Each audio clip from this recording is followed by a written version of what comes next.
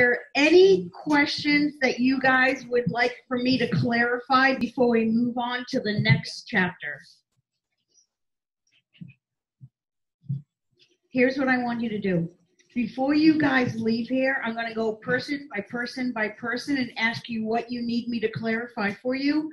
So somewhere on a piece of paper, I know I like to write everything in the front of my book, because that way I don't lose it, because I never lose my books. And write down things you need to for me, from me. Before you leave, I'm going to make sure everybody gets every single question answered. All right, I want you guys to have nothing you're wondering about. Same you guys.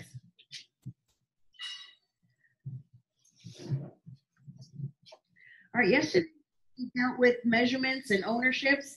Today we're going to move on to rights and land. The things that the government can do with your real estate. Okay, so it's land use controls and regulations. Your government rights and lands is PETE. And it, it would consist of police power, eminent domain, taxation, and escheat. Okay, well, I'll just explain all these to you. Okay, first of all, your police power. Do we have any officers in here? No one's going to arrest another student? It's happened. That's why I'm saying it. Okay. Um, yeah, we had a, a, co- a cop arrest a student for a DUI like the night before class started. And the student, the student was all hung over, going looking at the cop, going, "Dude, you look familiar." the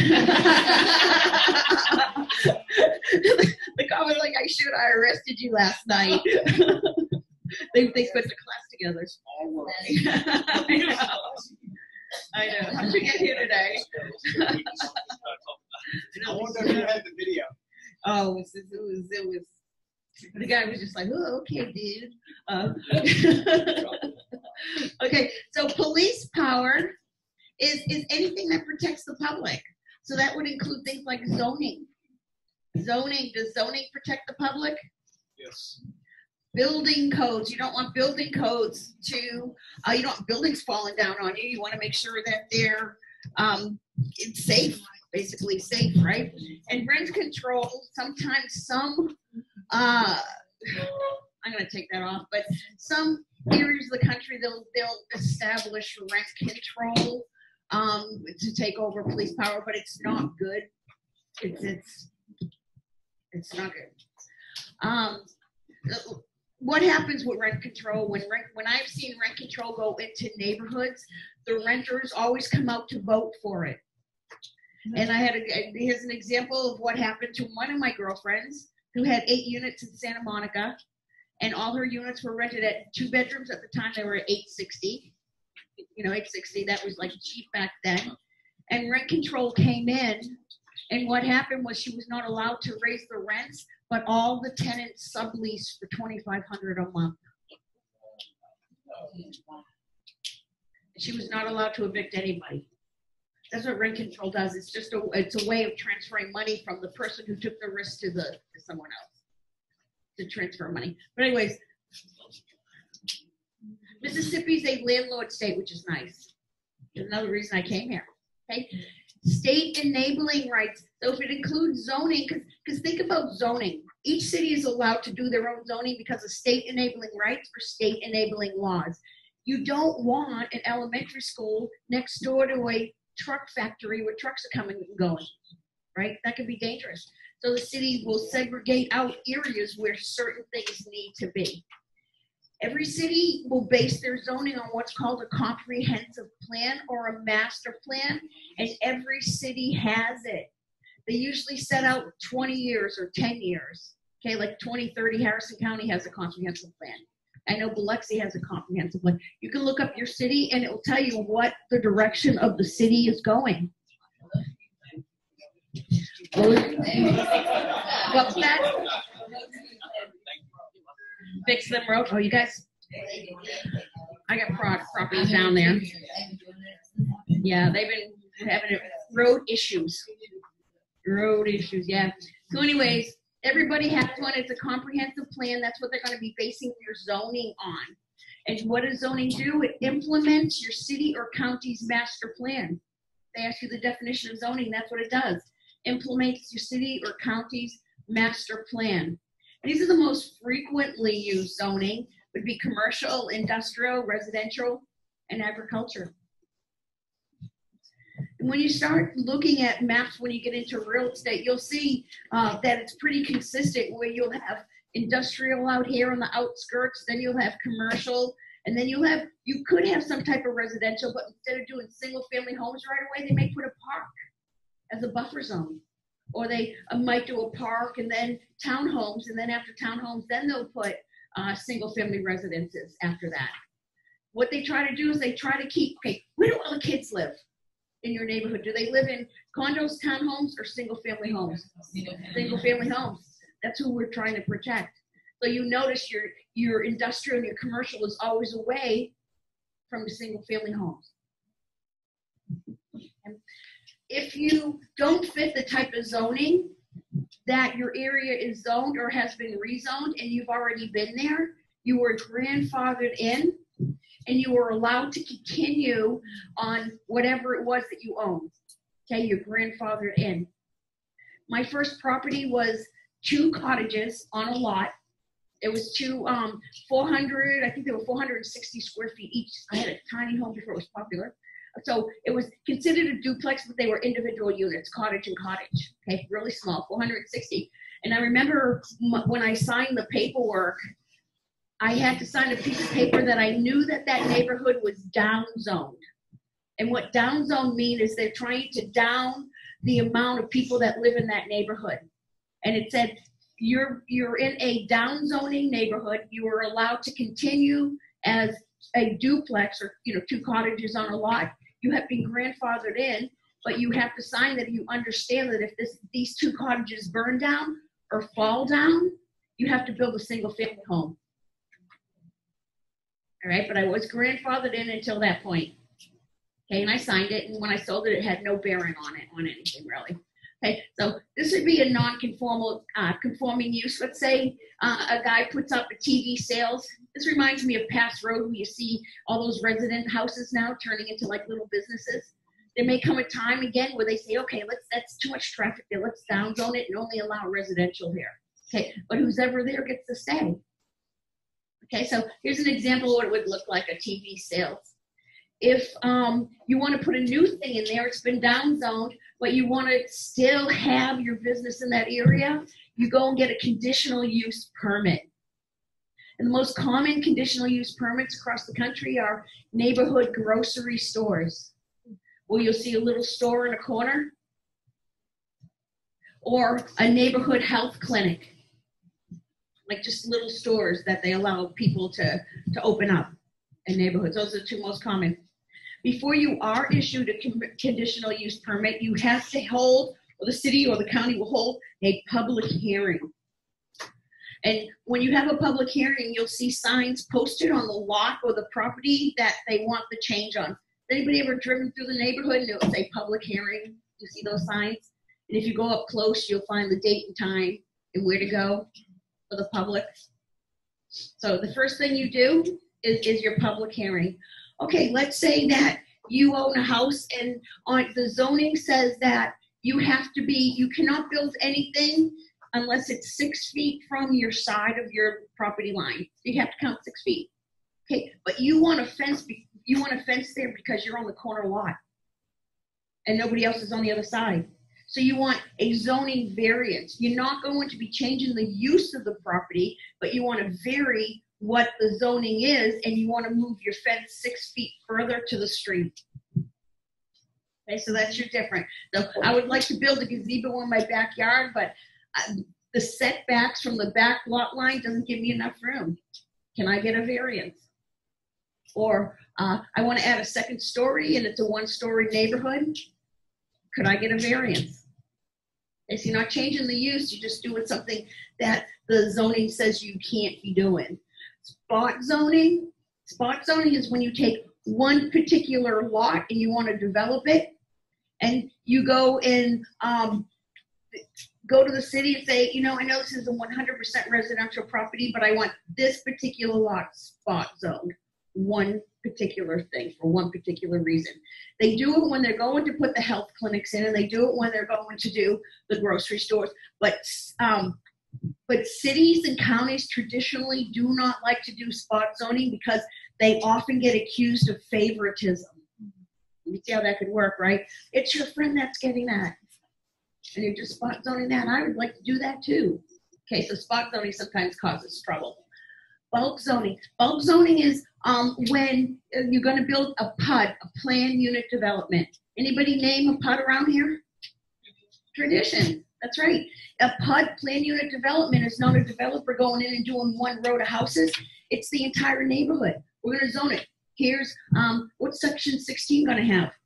Schools. Section 16 always has schools. That's right. Um, and then we're going to over here. We're going to have the post office, and right next to the post office, we're going to have the grocery store, and then over here we're going to have a park, and over here we're going to have townhomes. What are townhomes on the test called? Garden homes. What are those walls on those patios? Very good. You guys weren't supposed to learn anything. See what happened? okay, so bulk zoning would be like you're just doing a whole big area. Incentive zoning. This is where I made a lot of my money in was incentive zonings. Um, there's a lot of money to be made in incentive zoning. Incentive zones become incentive zones because no one wants to build a business there, build a house there, build a neighborhood there. Those are those, those that's my home. Those are my areas where I love.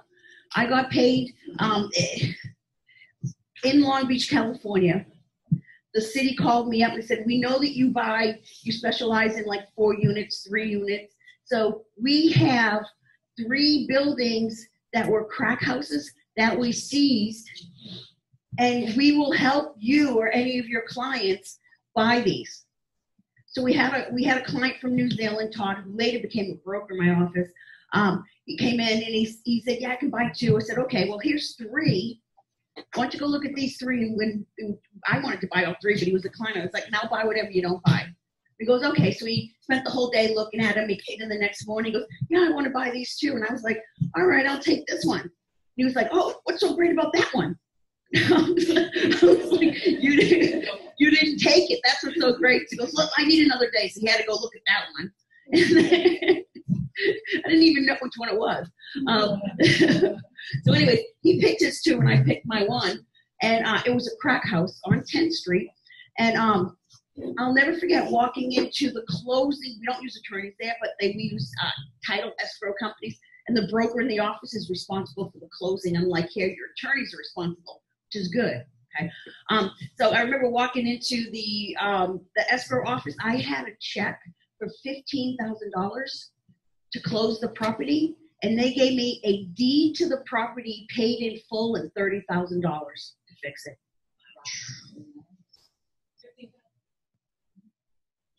And Todd got the same type of stuff on his too. So they paid me to take it. They were crack houses in crack neighborhoods. And I was like, no problem. I will take that. They gave me a building and gave me money with it. Think about that. Four years later, we sold it for 460 hmm. Some investors in Orange County. All right, because what happened in these? So you didn't have to have hold that property for a certain amount. No, they just wanted to clean up the neighborhood. I did not have to hold it for a certain amount of time. Okay. Um, on incentive zoning, I love incentive zonings because once that neighborhood starts turning, they turn very quickly. And I can always tell the neighborhoods that are moving to me, I could tell that are either incentivized or are moving and being corrected, moving to the right side, getting redeveloped, because I always look for paint buckets. That's the first thing people do is they start painting the outside of the buildings. And I gotta tell you, when I bought that, and my client Todd was a couple streets over on his too, he bought his, then another couple streets over. We all painted at the same time people that lived in that neighborhood for the longest time got re-inspired. And they were like, I love that. It's not they call it ghetto gray, like this gray in in in um, most of the neighborhoods, and everybody's painted gray because it's an easy color to paint graffiti over. You know, to I mean to cover graffiti. So, oh my God, they, we we painted it a bright green, like a summery green. And the whole neighborhood blew up. People were coming to us. What color is that? What color is this? We had. I still have that paint deck the whole neighborhood got painted. The whole neighborhood value increased so quickly, it was unbelievable. Um, but so is purchasing or is incentive zoning kind of like buying properties that are below market value? I bought mine for like fifteen thousand dollars. Yeah. Okay. Well, and then you fix it up, and then you create. Right. You create the community. What the goal is, is to bring that community around. When Jim and I first moved here, Gulfport was in, Gulfport downtown was an incentive zone. And Jim and I were looking at that going, God, I wish we weren't so burnt out. We were so burnt out when we got here from real estate. If we weren't so burnt out, we would have bought something down there. And we should just drive by and we'd go, I smell money here. right? And do you guys remember right after Katrina, what did downtown Gulfport look like? That was an incentive zone. What's it look like now? Yeah. How quick did those properties increase in value? Been about fifteen years, so.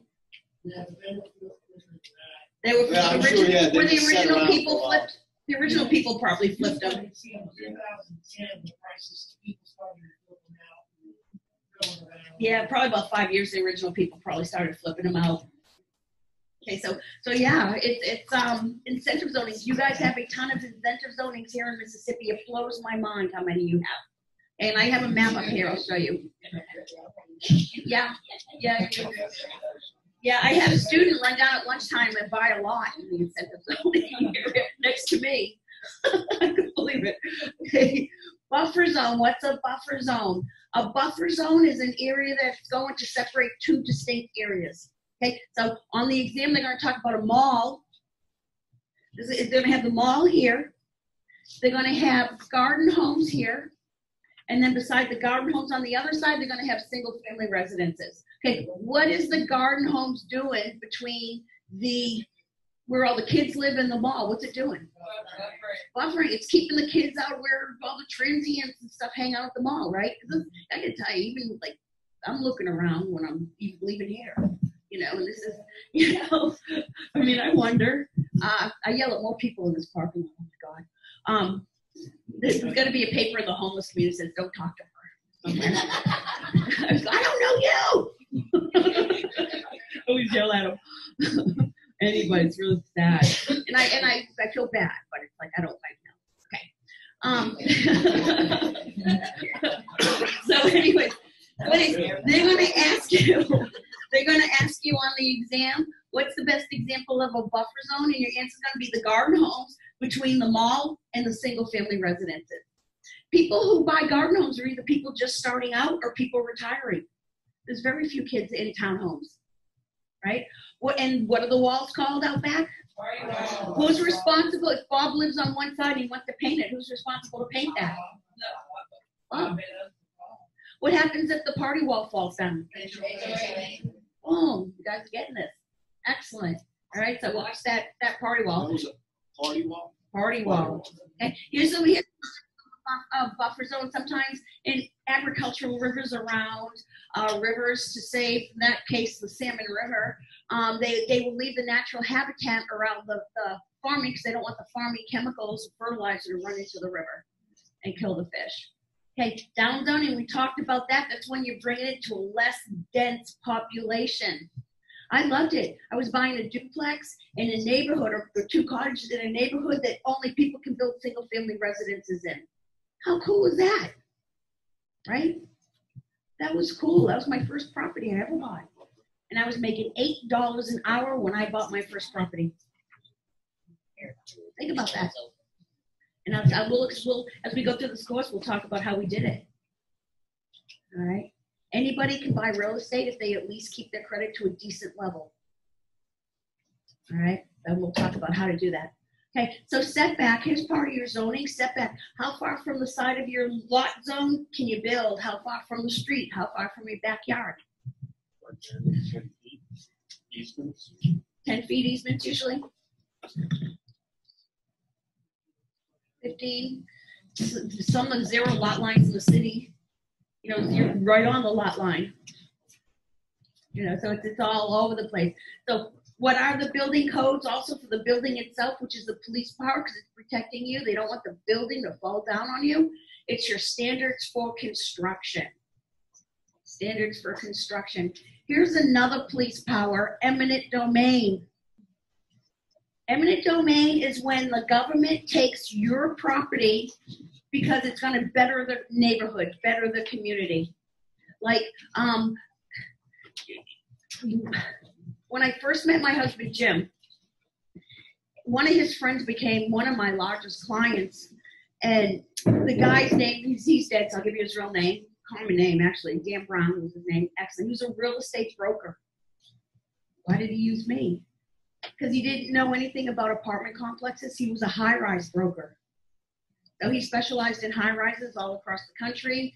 And then he also was one of the guys that started that concept where um, he would buy, he would rent for years one entire floor in a high rise. And when you got out of the elevator, there was a shared secretary. And around the perimeter of the building were all like one desk offices. And then there would be like a conference room. Anybody ever see that concept? Okay. So he did a lot of those too. He was um, the quintessential self-made millionaire.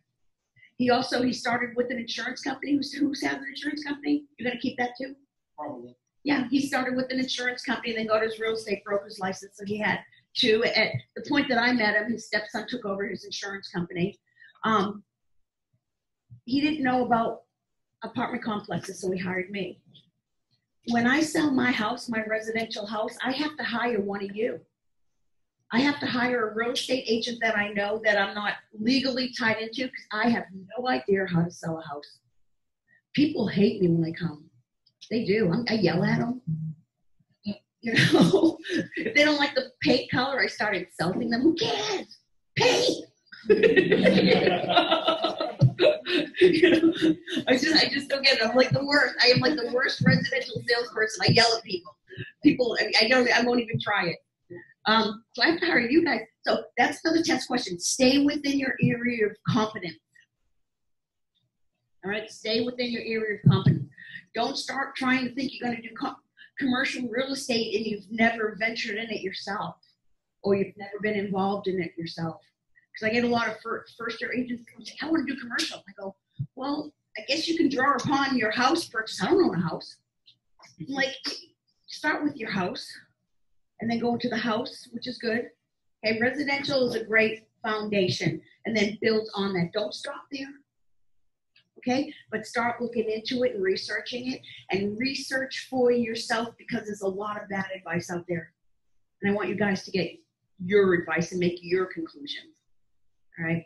Okay, so Dan Brown was really interesting. He also, this guy had so many sources of income. He was, when you read all these millionaire self books, you find out that true millionaires have several sources of income. You do not get wealthy by having a job nine to five. I can't tell you how many doctors are dirt poor when they hit 70. They spent all their money, they have no other income. What was that? Debt.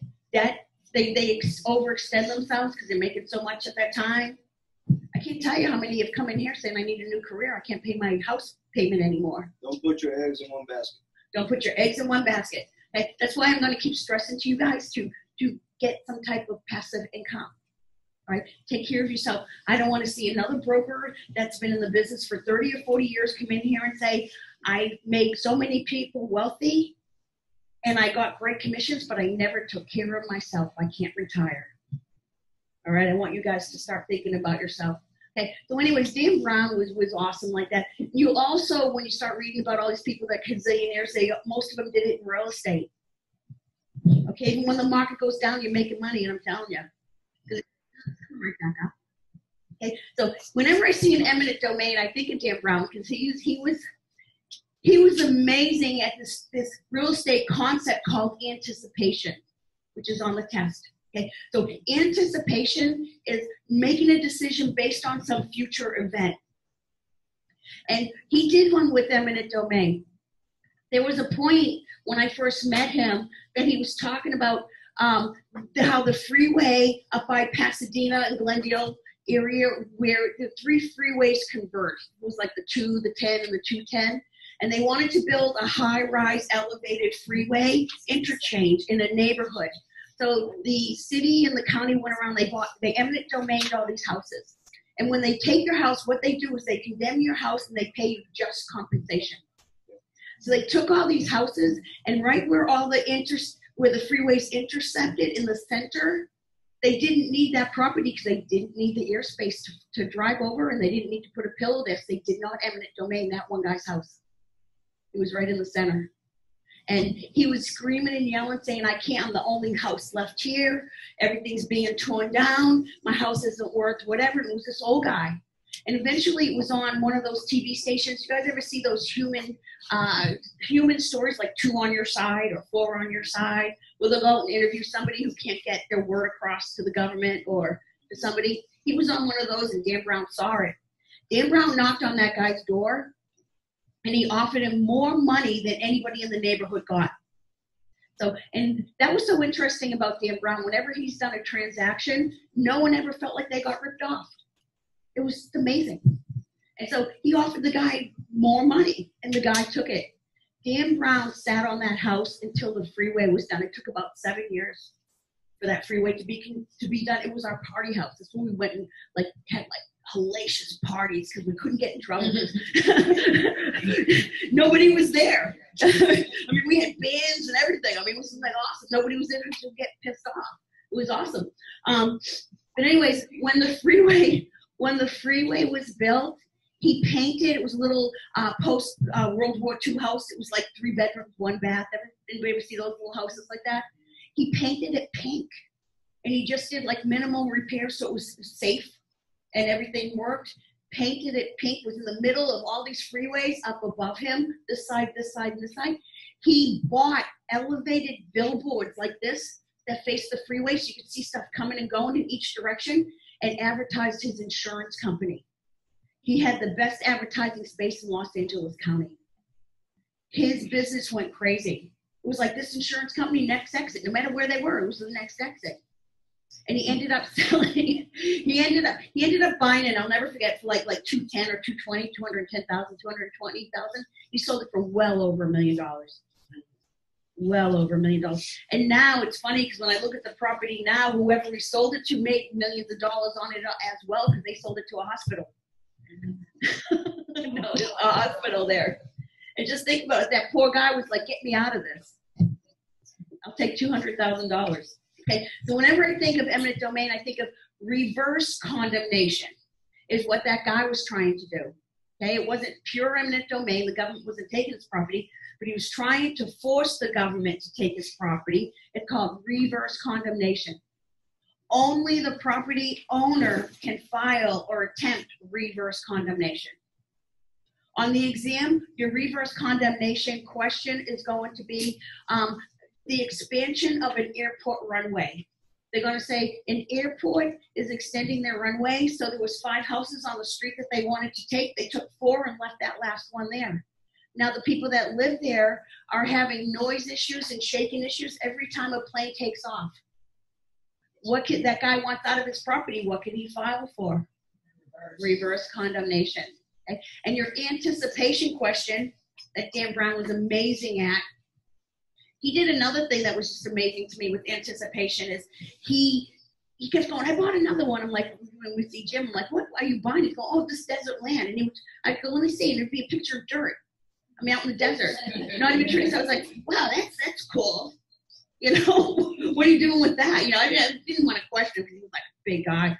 Um, I mean, money wise, big guy. And, and I was like, okay, you know, and I could never could figure out what happened. Again, like seven, eight years later, they extended the freeway, and all the lots he bought were the exit ramps, and he built gas stations. I mean, the guy was amazing. Okay, so again, anticipation. Here's your anticipation question. A woman has decided not to sell her home because she just found out or just heard that a factory is bringing 5,000 jobs to her neighborhood. What is she basing her decision on? Anticipation. That's right. Only the federal and state and local government and some type of government entity are the only people that can do eminent domain. So, knowing that, here's a question Can a condo complex eminent domain three houses adjacent to their parking lot so they can extend their parking? No. That's right. Excellent, that's right. Uh, okay, hold on, let me get the volume up on this. Give me one second.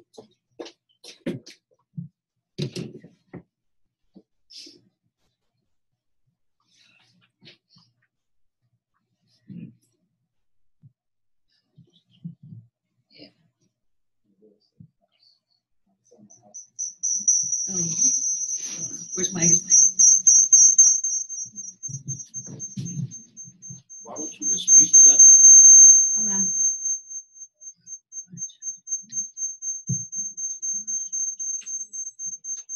I, what? Because that's where the sound comes out. Sound. Welcome back. A Connecticut resident lost his home in a Supreme Court eminent domain ruling very famously. The city of New London used eminent domain to get that land, promising it would be redeveloped to create jobs and boost the economy. It's the Kelo case. But 10 years later, the land is just piles of rubble, boarded up houses, and a lot of empty lots. Michael Cristofaro is one of the homeowners. He joins us live. Good morning. Good morning. Okay, this is that very famous uh, New London versus Kelo case Yes, it is. where the Supreme Court said, "Yep, a, a town can take your property if it's in their if, if it's in their best interest." Originally, Michael, what were they going to do with all of that property? Well, they were going to build a conference center, a fitness center, biotech buildings, a hotel, uh, which was supposed to complement the uh, Pfizer pharmaceutical plant that was being built. Okay, so that was their uh,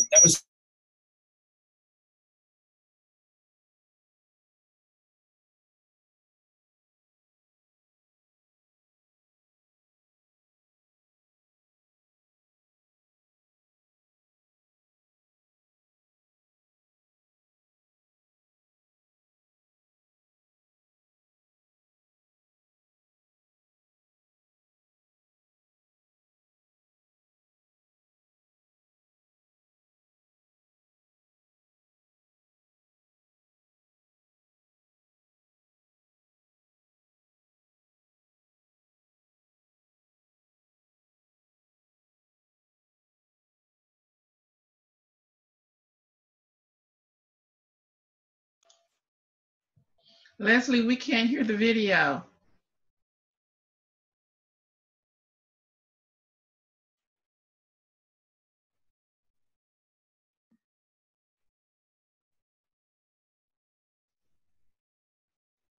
I was waiting on it. It's gonna squeak, you guys. Alright. I'm gonna pull it back just a little. We missed the entire video. And also use 1895. Microphone. And they're saying, hey, listen, you guys weren't good enough to live here. We're going to wipe the area clean, turn around, and now here it is, 10 years later. Uh, the best use for this land is to turn it into a neighborhood because the same suburbanites are moving back into the city and they want something that's a walk into it to downtown Sure. and everything Do you else. want to move back? If, if we could have our property back, I, I would. Uh, You want the I- city to give you the, the land back? Absolutely, for what we went through, absolutely. I mean, it was our home. It was my father's uh, land. It was my father's home. Absolutely. for what It was the, ultimate land grab, wasn't it? Oh, absolutely. I mean, the U.S. Supreme Court made the wrong decision. I mean, look across the United States today. I mean, you know, New York has its eminent domain Sure. problems. New Jersey does. California, the big case that's going on out there. I mean, when they made that decision, it was a wrong decision. The floodgates are wide open, and we need to close those floodgates. it really sounds like they blew it. Uh, Michael Cristofaro, we thank you very much for joining us today. Oh, great. Thank you so very much. What a story. Sorry you went through. Well, we, we need to do something. We do. All right, thanks for telling your story. I don't know how to stop that squeaking, you guys. We're trying everything here. Hold on.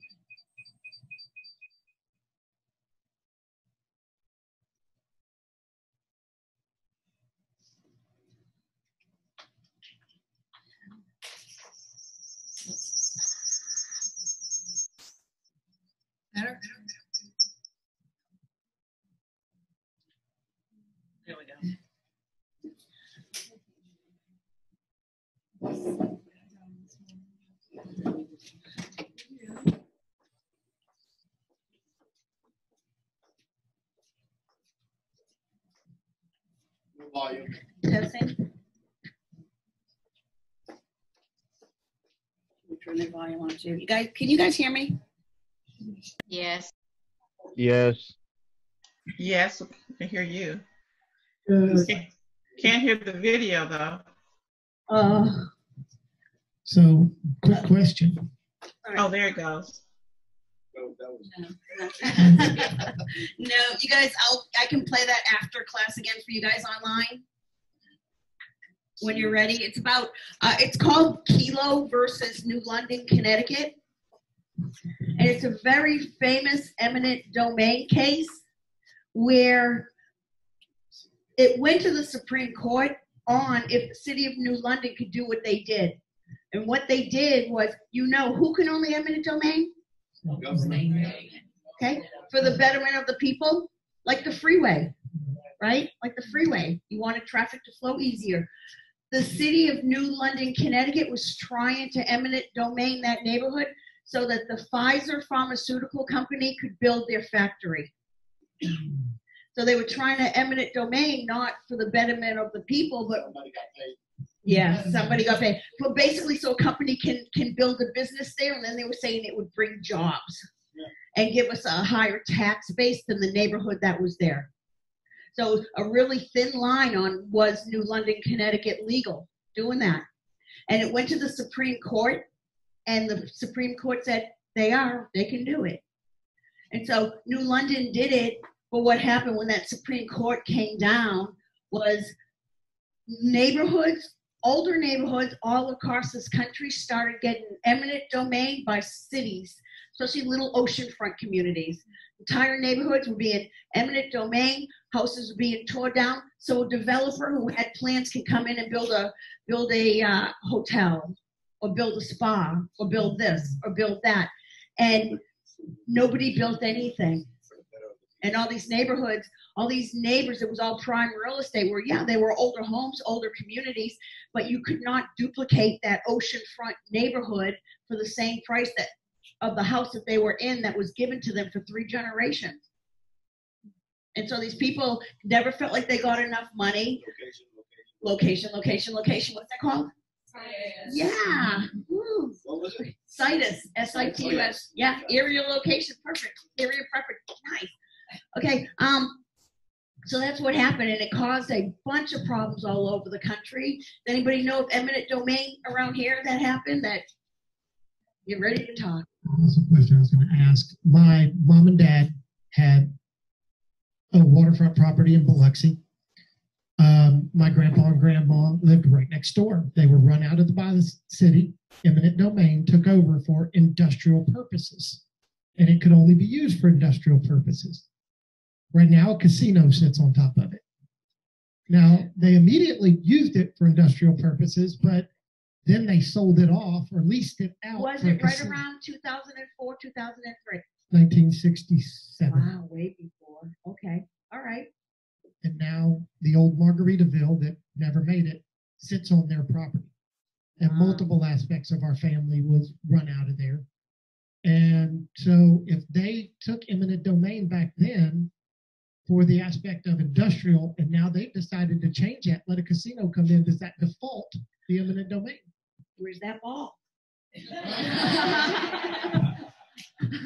I would have to go throw this out at an attorney and ask them, because I don't know what the condition of the original eminent domain paperwork was. You know, I would have to like read all the paperwork and go back that long. And, and that's an excellent question, does it? Because I know that um, some people, some, remember water rights? What is the water right that is granted by the government? Prior appropriation, right? I know of developers who came in and they put in farms that grew sprouts because sprouts need more water than the average crop. And so they got prior appropriation with the intention after they, without telling anybody, when they had prior appropriation for a few years, they tear down the farms and they had water, so they built communities. So that would be like the same concept of the eminent domain. Did I see you up over here? You know the shed barbecue? Uh huh. They took a portion, so the original building was closer to the road. And I don't know what they took a portion for on it in the domain. I don't know if it was a, a water facility or maybe they extended the road, but they took a portion and then the shed, the first building burned down like like a month after the agreement. Ooh. Somebody got A lot of fires going on in these cases, I've noticed. Yeah. Maybe they, they moved it. Look at the insurance guy. All it takes is five dollars on crackhead. you, uh, you said all it takes is five dollars and a crackhead. Yeah. They moved it out. They just was paid it. It just moved them back. a- Yeah, it's just a little coincidental. We have insurance guy here. You want to I do life insurance. You? That's what I heard, so I'm not, That is I just know, the I life know sure the insurance. building got moved back. yeah, that's that's that's interesting story. I didn't know that. That's awesome. Yeah, so I it, there's so many lawsuits as you can see in real estate with eminent domain and, and all that stuff. So read your paperwork. Read your paperwork. Okay. E and O insurance with eminent domain.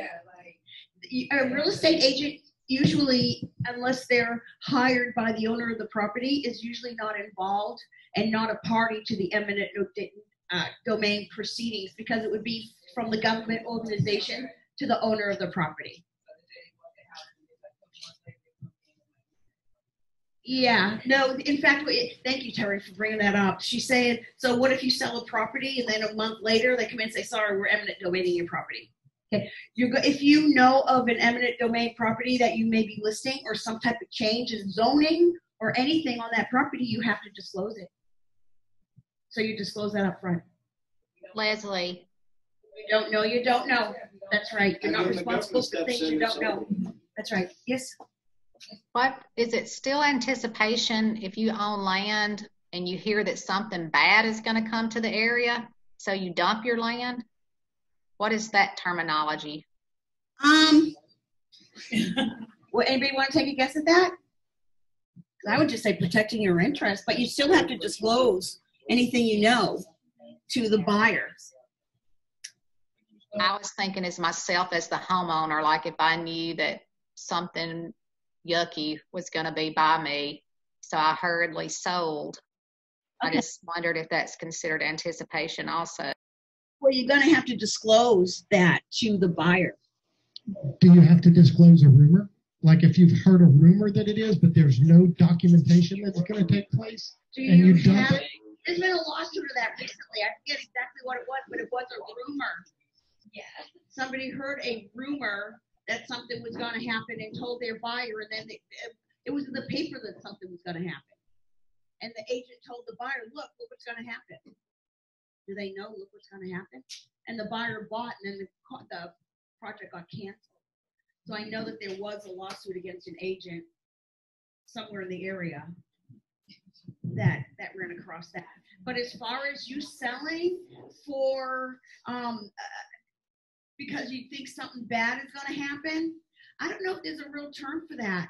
Um, but I know if you know about something, you're going to have to disclose it. And as far as a rumor, that's that's such a gray area. You know, I may say there's a rumor, but I don't know what's going to happen. Yeah, throw that ball. You know, why don't you do some research? Like I tell you guys, why don't you go do some research and you come back tomorrow and tell me? You know, but don't say something's going to happen. Look, look what's going to happen. Right? So just be careful of that. Okay. I, I'm sorry. I wish I could help you a little bit more. If you say it's gonna rain, show me the forecast. If you show me it's going to rain, show me the forecast. Yeah, that's true. Things can change all the time. okay, inverse condemnation. We talked about reverse condemnation. Who's the only one that can do reverse condemnation? Homeowner. That's right. Inverse condemnation. Only the home, the landowner can do it. Also, it's when they don't think they got enough money. Okay, so they're going to sue. I want more money. The just compensation was not just. And you see a lot of those go on. They normally pay you just a little bit above market value, don't they? Um, they only pay you a little bit above market value. Yeah, about five years. Thank you for that question. That's an excellent question. Okay, or excellent statement.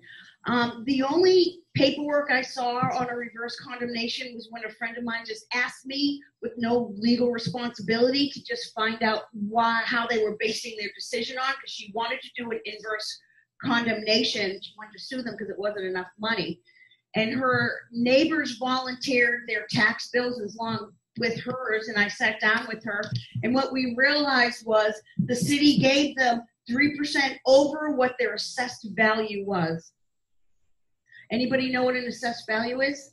What appraisal, not what's been actually selling there. No. No. What they base your taxes on. You're going to be paying your ad valorem taxes. What ad valorem means? AV, according to value, ad valorem taxes on, and wh- wh- who's looked at their tax value? It's very low. It's very low. It's very low, but you want to keep it low because you don't want to pay a lot of taxes. It's sometimes less than half the property value. Double-edged sword. Yeah, so it's a double-edged sword if you're going to be eminent domain on. It can come back and hurt you. All right, so But generally, would, would they do an appraisal first and then sell off of that? generally, will they do an appraisal? In their, in the case that I know about, they just went by the tax records. Okay, so tax. Yeah, but it, it, it again, it's going to be varied everywhere. All right, so, all right, so that's your inverse condemnation. Thank you for that. Okay, taxation. What is taxation for? It's your charge on real estate. What are taxes used for? Meet the demands of the government. Excellent. And there's your ad valorem. That's what your taxes are going to be based on. Is your assessed value. Ad valorem, according to value. That is your property taxes. How many times a year do you pay it? Once. Once. Leslie, I, I got a quick question to see if you can answer this. Okay. I know I have a lot, but Oh no, that's good. I have property that is going, I bought, it's gonna be a subdivision. Okay. I wanted to build on it, but the city said, well, we haven't cut a road through yet. Okay. So I said, cut one.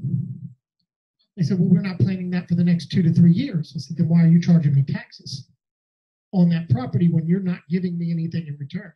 And they're refusing to cut the road through. All right.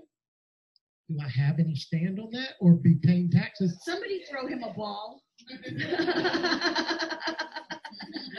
I don't know. I don't know. In our area, in North Mississippi, the developer has to build the street themselves.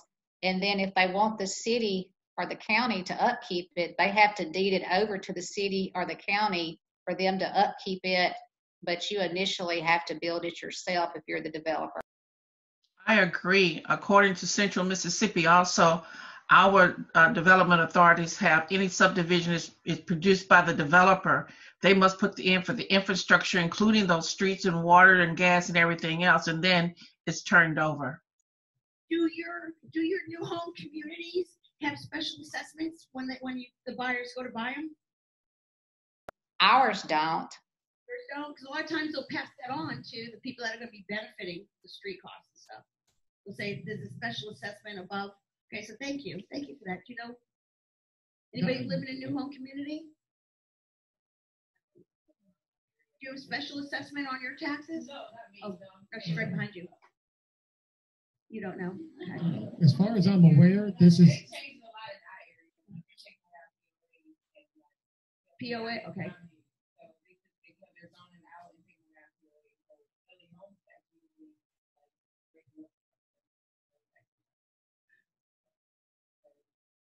I love Mississippi. I gotta hmm. tell you, I'm Yeah. buying stuff. I, I don't, as far as I know, this is not a developer owned situation. It's a Okay. city owned situation Okay. that they're going to, they've already just parceled the lots Sure. and are just gonna cut the roads through. All sorts of stuff. You guys, I don't know. See, I'm just like so excited. There's so much going on in the state. It's just amazing. Whether I'm up at Oxford or South Haven, the population's going crazy. The roads aren't big enough in Oxford. It's unbelievable. Then you come down here, and I never had to wait to take a left turn before, or to wait to take a right turn before. Anybody noticing the traffic getting really bad? Ask your real estate agents what's the percentage of out-of-state buyers coming down to Mississippi to buy. A lot. It's huge. Who has neighbors that aren't from here that just moved in the last five years? Look at that. Most of mine are military. What do you think's happening to the population here? It's increasing. People, my my little secret of Mississippi is is getting out. That's what I called it, my secret. All right. So, you guys, what happens when you have a lot of people move to an area? Hello. Boom, boom. Yeah, that's right. Supply and demand. Can the, can the developers keep up with the demand?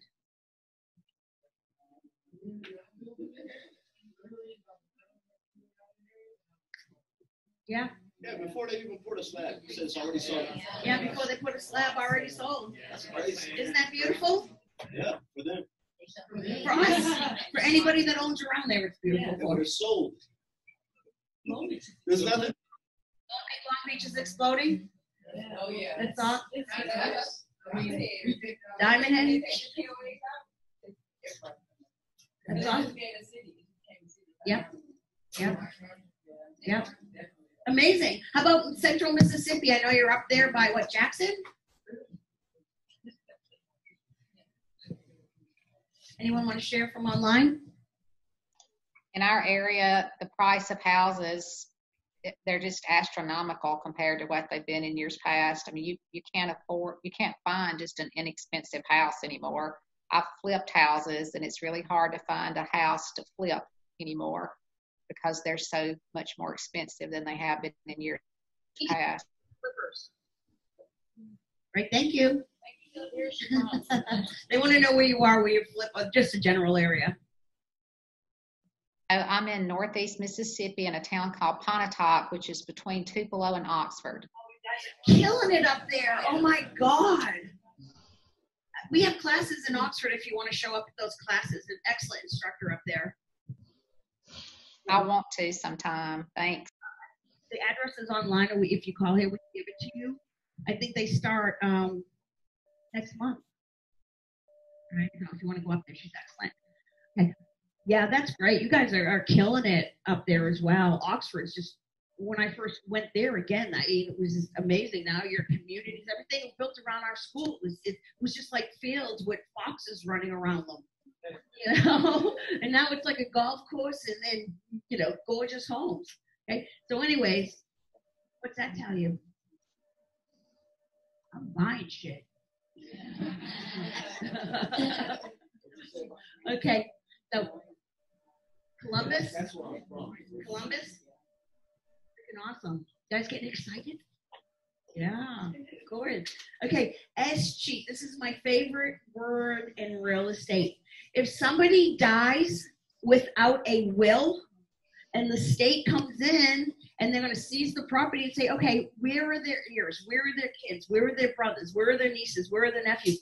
If the state can't find anybody that person is related to to give all his property to, everything escheats to the state. Is there a certain time limit on that? I don't know. It's probably, I'm going to guess. it's, it's probably state specific, but I, I don't know. I, I would definitely check into it if I was more concerned about it. Okay, so it escheats in the state. What's that? What what word is in there? Cheat. The cheating out of your property. Okay, Cheat, cheat. Mhm. it's weird to me for some reason. Okay, regulation special land types. Right, why don't you guys take ten minutes? I've been going all morning. Oh, you guys know? All right, let's go. All right, good. Okay, floodplain. What's a floodplain? Anybody live in a floodplain? We're talking about floodplains yesterday, right? Okay, land adjacent to a stream. It's occasional flooding, as opposed to wetlands. Here's your wetlands question: What type of real estate is set aside for conservation? Wetlands. There you go, wetlands. And you have NOAA. You're well of that. National Flood Insurance Program. You need to know it was created by Congress. And you guys probably all aware of it. Okay, um, you guys are really good on this, these FEMA pro questions on the test. Yeah.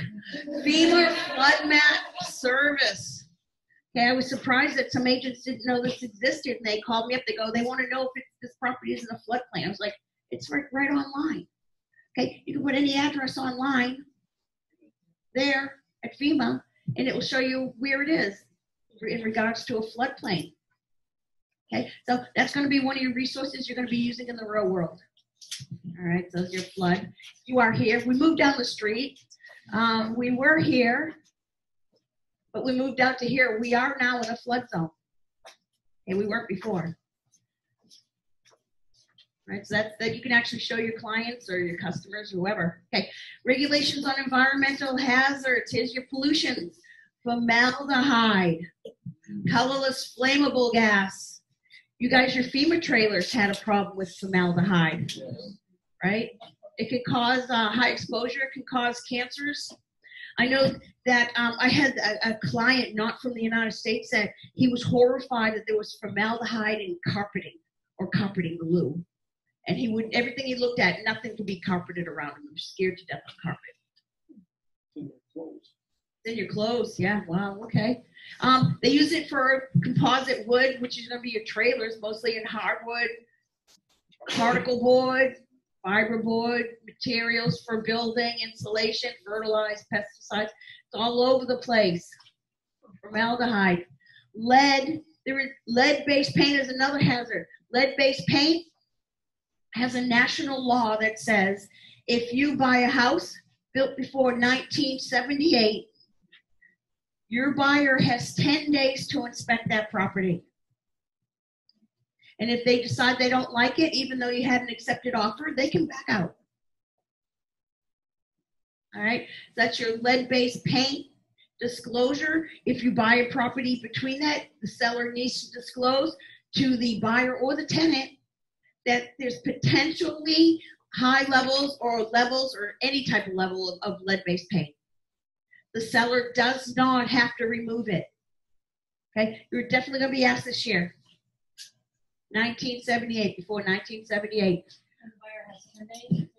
Buyer has 10 days to inspect the property for lead-based paint. They have to acknowledge that it could possibly be there. The seller does not have to remove it.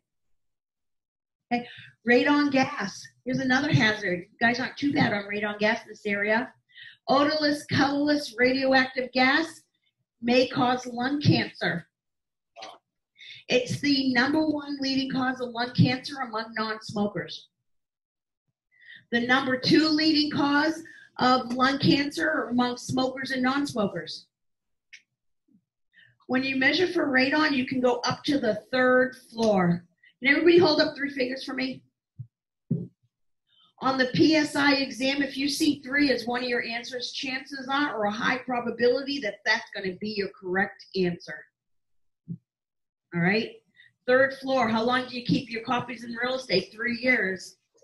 How long do you have to, uh, when we get to the state, change your mind? Three, three days. Okay, they, so, so it's three, three copies, three days, whatever. If you see three, chances are that's going to be your answer. Okay, it also is easily mitigated. It enters your house through the basement. Oh. All right, I'm going to skip that because I don't want that high pitch. It's a video of a guy that has radon mitigation in his basement. And basically, what they do is they uh, drill a hole in your foundation in your basement. And then they, uh, on one of the adjacent wa- wall farther away, they'll drill another hole. And then they put in a suction tube and they connect the tube to a pipe that puts all the radon outside your house. Okay, so radon is easily mitigated. That's going to be one of your term, one of your questions. It's easily mitigated. It always, it's always been less than two thousand dollars when we've done it. So it's not even considered a big deal. All right, and you can measure it up to the third floor. Okay, that's another one of your threes. Okay, and this is not on the test, but people usually ask me where high levels of radon are. The pink levels have the higher levels. Huh? Because it's because of the geography. Radon is radioactive gas coming from, I always like to say dinosaurs or whatever's in the ground from before. Okay, so that's where it's gonna come. Those are Coming from China. coming from China. That's, that's the drywall. And it doesn't last. They're shipping it on American flags. They show. Um. All right. So, anyway, that map on radon is, is not on your um, not on your your your test. But anyways, you also have a guide to radon, just like lead-based paint. You you people have to acknowledge that there could be radon on the property. You want to hand this to you, the buyer or the tenant. Asbestos. Area is like the asbestos capital. I was like horrified how much asbestos you guys use here. Seriously, you guys have it all over the place. Okay, it's a mineral fiber. It, it comes from rock and soil, and you guys have asbestos tiles on a lot of your older homes here. And you guys have asbestos flooring on a lot of your older homes here. Do not try to remove it. If you start removing asbestos tile or asbestos flooring, particles Yeah, you activate it really. you activate it. That's what you do. You activate the particles that go into the air. Yep, and they, those fibers get lodged in your lungs, and you can get mesothelioma. Did you guys see those mesothelioma? It's like Commercials? inhaling, it's like inhaling insulation. It's like inhaling insulation. right? Yeah, you don't want to do that. It was used because it was a good flame retardant and water repellent. Okay, so those are what asbestos tiles look like. You guys know any homes that look like that tiling? They're everywhere. They're everywhere. I could, I mean, I, I've come across some in California, but not like you guys here. You guys, you have street upon street upon street. It's amazing. All right. So basically, to handle asbestos, what you're going to do is encapsulate it. That's going to be one of your test questions. Encapsulate it. Okay. And what that does, though, paint it. Basically, is what you do. When my client uh, Sean, he said I can use his name, um, bought a house with asbestos siding. The first thing he did was had it painted. He encapsulate, encapsulated the asbestos so it can't escape. So best way to treat asbestos is to encapsulate it. Is radon easily mitigated? Yes. There you go. Nice job. The next one is UFF or UFFI. They might spell it out, urea formaldehyde foam insulation. It was the key word here, pumped. There's going to be only one question on your test that uses the word pumped. And this is it. This was pumped between the walls. This is also banned. This was also banned. PCBs, polychlorinated biphenyls. This was from electrical products. And if you want to, at some point, go home and read about the Hudson River and General Electric, how they, they basically killed a river. And it's, it's going to take 100 or 200 years to clean it up. Huh? They have a TV program about it? It's horrifying.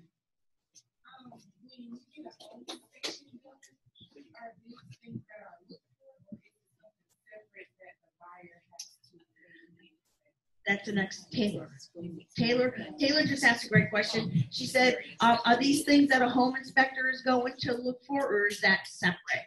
Your home inspector most likely is going to look for that on your sellers. When you when your seller lists a property, you're going to get a um, property condition disclosure statement and the seller needs to fill it out. And on that disclosure statement, it's going to ask, are there any PCBs? Are there any this or are there any that? So if your seller knows about it, they have to disclose it.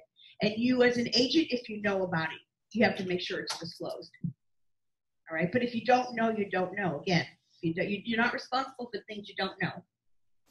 So there's your New York PCB. They're still cleaning it up. It flows right into New York Harbor. Don't eat the fish. Okay. There's a lot of PCBs still in effect right now. That's what they look like. You guys see these all over the place, right? Transformers. Okay, so those are everywhere. Waste disposal sites. This is responsible for a lot of damage. Uh, Erin Brockovich had to deal with a waste disposal site. Um, a waste disposal site, if it's put on the wrong type of soil, will pollute the groundwater. And that's what happened in her case. All the kids were just dying and getting cancers and just horrible. All the toxins that were being dumped got into the drinking water. Okay, so they have to be on special uh, soil. Okay, underground storage tanks, they're going to call you call them UST, UST. If they're leaking, they're going to call it LUST, L-U-S-T, leaking. And I'm going to say something that a student told me. It wasn't me. It was a 65 year old woman that told me she will never forget that lust is leaking because they shouldn't be in the same sentence. All right. Some people got it. Okay, but that was not me. That's what she said. I couldn't believe it. She was like, old. I was like, whoa. She, yeah, I know. She was leaking on. You know what she was? Oh, oh my God! I'm, I, and I'm going to tell you this, but I'm going to tell you her name. She's still around. She, she, and she, she calls me every so often still to say she's a kick on. You know how like on your application you have to disclose anything you got in trouble for. She had to disclose she got arrested for skinny dipping. I mean, she was she was a lot of fun. okay, so underground storage tank. If you're selling a gas station, it has a leaking underground storage tank. It needs to be removed. That's one of your government regulations. Okay, if you have a buyer who wants to buy a house next to a gas station, what should you suggest he do? This. It's, cl- you're close. It's gonna be, your it's gonna be a soil sample. Yeah, that's what I said, get it tested. Yeah, get the soil Just like test. when you wanna build a house and you wanna test the soil on the land. Right, that's right, right. Okay, but they're gonna give you the example of next door to a gas station. Okay, ground, how, uh, what are sources of groundwater contamination? They come from everywhere. Runoff, seepage, all sorts of stuff. Fertilizers, groundwater. Okay, speaking of groundwater or drinking water, is your water company a nonprofit? Absolutely not. Your answer's gonna be yes. What? Yep. On the test, they're gonna ask you, they're gonna talk about a, a water company for a city or a county, and they're gonna ask you if it's a nonprofit. What was that? Other nonprofit. How's it a nonprofit? I don't know. That's please. Yeah. Especially with all the. Do do you know, do you know how a nonprofit actually works? They make sure everyone gets At, paid. at the end of the year, you just can't show that you made money to the bottom line. So everybody just bonuses out at the end of the year. Yeah. Just like Goodwill. Perfect statement. That's all it is. Yeah. Thank you. Thank you for that. Okay, so they do ask that question. And again, um, the- a lot of people, sub buyers, I guess, are gonna ask what's the water quality like, what's the beach water quality like. Again, you can go to the EPA and just put in an address. They'll tell you all the water qualities in a particular neighborhood. Okay, another uh, hazard in real estate is EMFs, electronic magnetic fields. You see those in gross easements that have those electrical things, those electrical wires. I know that there's some developers that won't build within a certain range of those, a certain amount of feet of those, because you can get EMF readers and walk around and see what's going on. Okay, what are EMFs caused by? Was one of your questions going to be circulating electrical currents, and it's suspected of causing cancer. Five G. I know, 5G. Um, sources is all sources of EMFs, TV screens, house alarms. I hate this thing near my head because it has EMFs going off right now. Right, I talk on my phone like this. So they come. You look immune though. I'm, I'm immune. I already had it. so we can't escape those evidently. Okay, mold. Mold may cause allergic reactions, but there's one mold that will kill you. Black mold. The technical term for black mold is Stachybotrys chartarum. I know. How can you how can you get that answer wrong? It's got my Last name. Oh, really? What's your last name? Stachybotrys chartarum. And-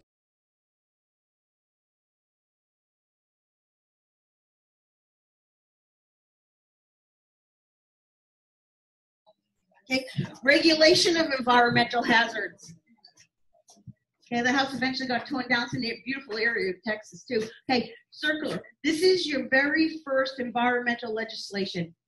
They may call it CERCLA C E R C L A, or they may spell it out for you Comprehensive Environmental Response Compensation and Liability Act. It's also known as Superfund. Because what it did was it created the Superfund. It created a $9 billion fund to help properties be cleaned up. It held the polluting party responsible for the cleanup. And then they also decided that later on that it can be the person who polluted, the president of the company can be solely responsible, plus the company individually or as a group can be held responsible. All right, so whoever made the decision plus the company. There's two uh, eh, there's two cases that happened that CERCLA was in response to. That's called Valley of the Drums. If you ever want to look up that up, Louisville, Kentucky, and then the Love Canal, which uh, William T. Love was building a community that got abandoned, and uh, a, uh, a chemical company dumped a bunch of chemicals in the big hole that the original person built, and kids were like swimming in it because it filled up with water in the summer. And then they built a bunch of houses on it and they put a school on it because it was in section what? 16. 16 and all the kids at that elementary school. Uh, there's a video of this guy, kid that went there. His name's Michael that um, talked about having a high school reunion and he found all the kids that went to the it's called the 19th Street School and he said every one of my friends including me have they either died or they have some type of chronic illness from that school okay so super fun I know isn't that super all right so just be careful okay super fun uh, development okay super fun what's a super fun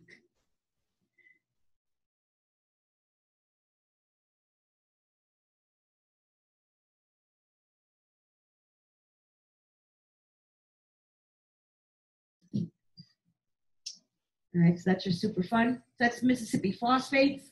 There, that's they're not going to ask you exactly about Mississippi phosphates. That's just an example. Okay, the next legislation was SARA, S-A-R-A, SARA, Superfund Amendments and Reauthorization Act. It came after the first one, CERCLA. And what this one did, it established stronger cleanup standards, and they also had a fund now for innocent landowners and it gave innocent landowners immunity for the cost of cleaning it up or the responsibility of cleaning it up. What happened when when an innocent person, the person who did not pollute the property, finds himself in possession of a polluted property, the government would help them clean it up. Okay, but it is still the seller's responsibility before the property transfers. Okay, Brownfields was next. Brownfields Revitalization and Environmental Restoration Act it helps rejuvenate deserted, defunct, and derelict toxic industrial waste sites. Okay, that's going to be in brownfields.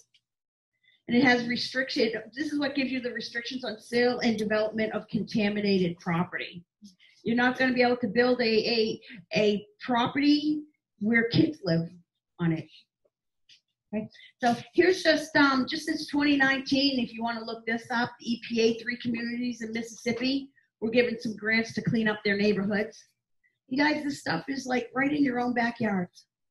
All right. So what's going to happen is your clients, your buyers, are going to say, is it near a dump? Is it near here? Is it near there? You're going to need to know what's in your area. Okay. So the Bertha Super Fund again is the uh, Love Canal area where um, it was at upstate New York by Niagara Falls. Here was the activists that fought the development and fought the government to make the government buy out that entire neighborhood. They bought 5,000 homes because all those people were being affected in that community from the Love Canal. 56% of our children were born with birth defects from that upstate New York. She's still active today. Here's 2018. I love it. It's become a uh, revitalization zone. Anybody want a house lot cheap and build a nice house on? Love Canal? They started marketing them uh, to older people if they wanted to build some homes on it. Is that crazy? Okay, so anyways, you can look up your your property again at the EPA, do your address, see what's around you. Right? You never know. You never know what's around you. Okay, we talked about government issues. Let's talk about uh, private controls. D conditions. Anybody live in a homeowners association? Yes. Yeah, do you like it? It's good or bad. Yeah, it's good or bad, yeah.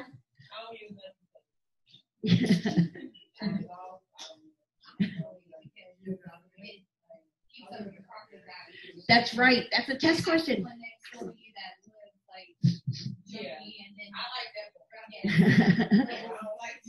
right.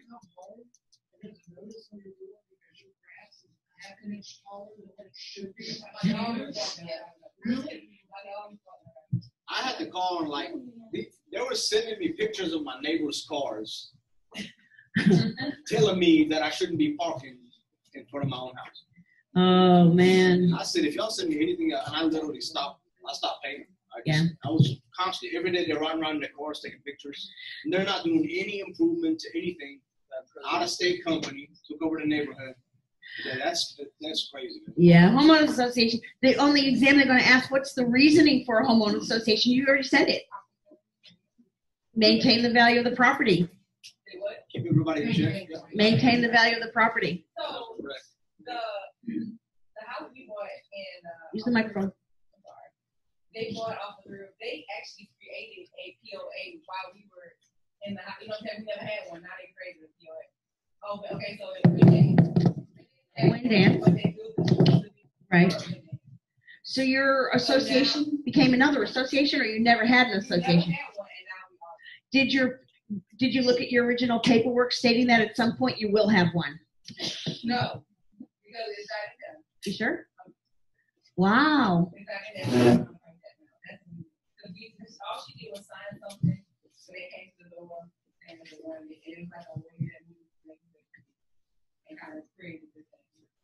Wow. We were never, we were the last people to buy this home, bought actually the, You bought them all, okay? yeah, we were the last home we still, All right. so, and now this is the end. All right. So they created a, a homeowners association after she bought it. After we bought. I had a, a, a client that beat one of those because it was never in any of her documents and writing anywhere. That was the same situation, because, uh, the house was built on fifty-three, Uh-huh. subdivision, it was the same thing, I came in right before they, it was like five or six houses, now it's like huge subdivisions. Right. Yeah. And that's what it did. As And now they want to charge, you- they want to charge, you- what he's saying is you moved in, and they're like you. No, uh, D, uh, DSLD. DSLD, yeah, Yep. they're on the other side. So they built Adams Home, the first one, on what we got, and then DSL bought, and whoever bought the second company. else. Yeah. See, now it's so big, like, they're taking over from the railroad track all the way down. Yep. That new gas station on fifty-three. Yeah.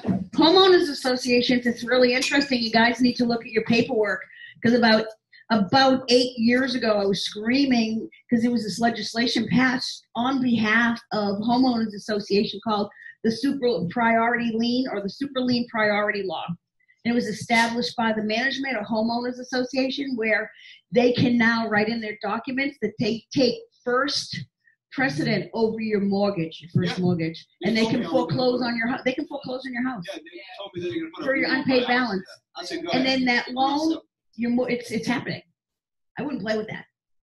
We have a video of what some people that played with that. Yeah.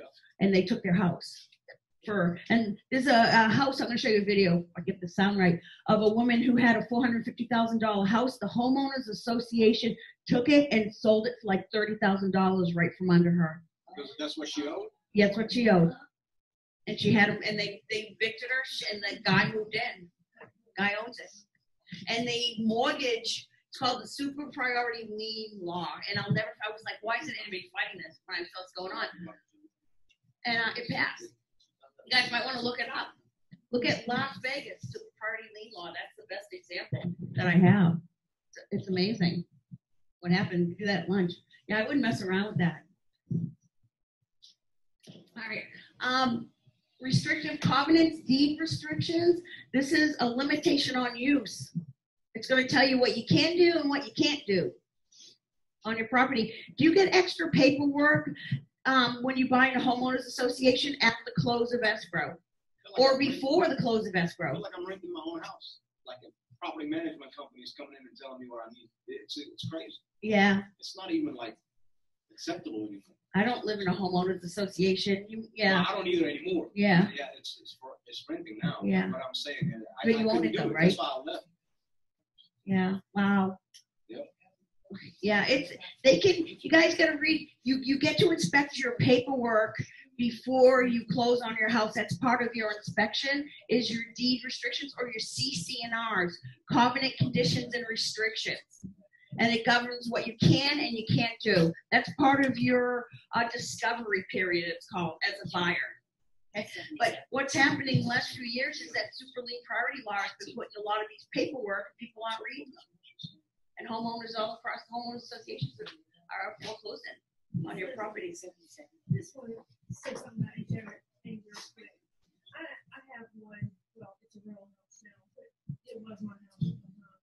And I feel like the HOA wasn't good enough because now, as it's a rental, now a lot of the homes in that street are rentals. Right.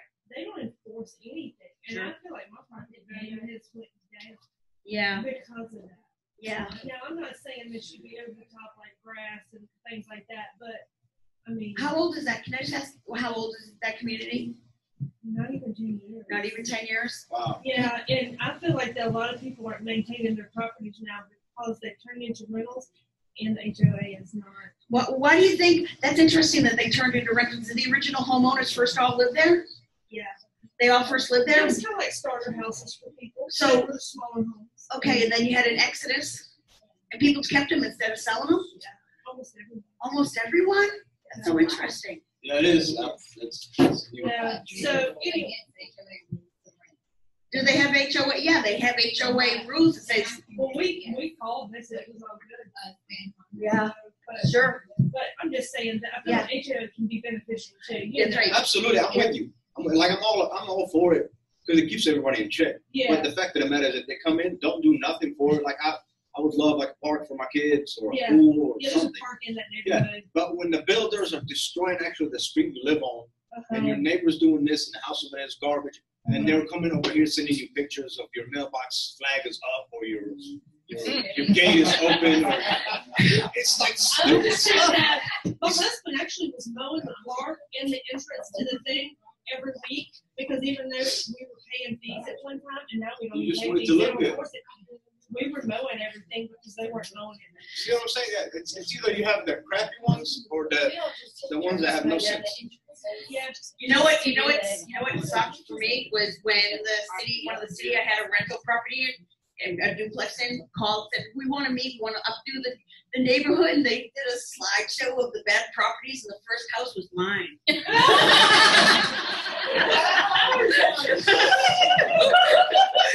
And the house was good, but my tenants, I didn't know, but my tenants had like a car with blocks out on the front yard. So I was like, oh my god. the house was fine, it was just like what the tenants did to it. You know, they had like the garbage cans were up front. Oh my god. I was like, wow. I was like, don't tell them. Don't, don't say a word. Don't say a word. wow, that's pretty bad. Went along with it. I'm gonna, I'm gonna do an eviction.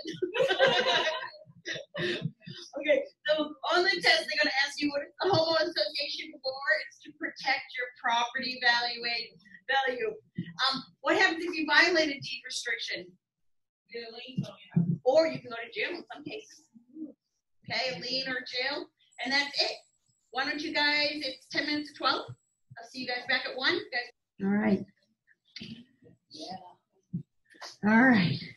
We're moving on. I like these chapters that we're moving into because these are the chapters that start talking about money and how it actually works. Okay. All right. Valuation and market analysis, appraisal. What is market value or what they call open market value? This is what you see the for sale signs for. This property is for sale, market value or open market value. That is the most probable selling price.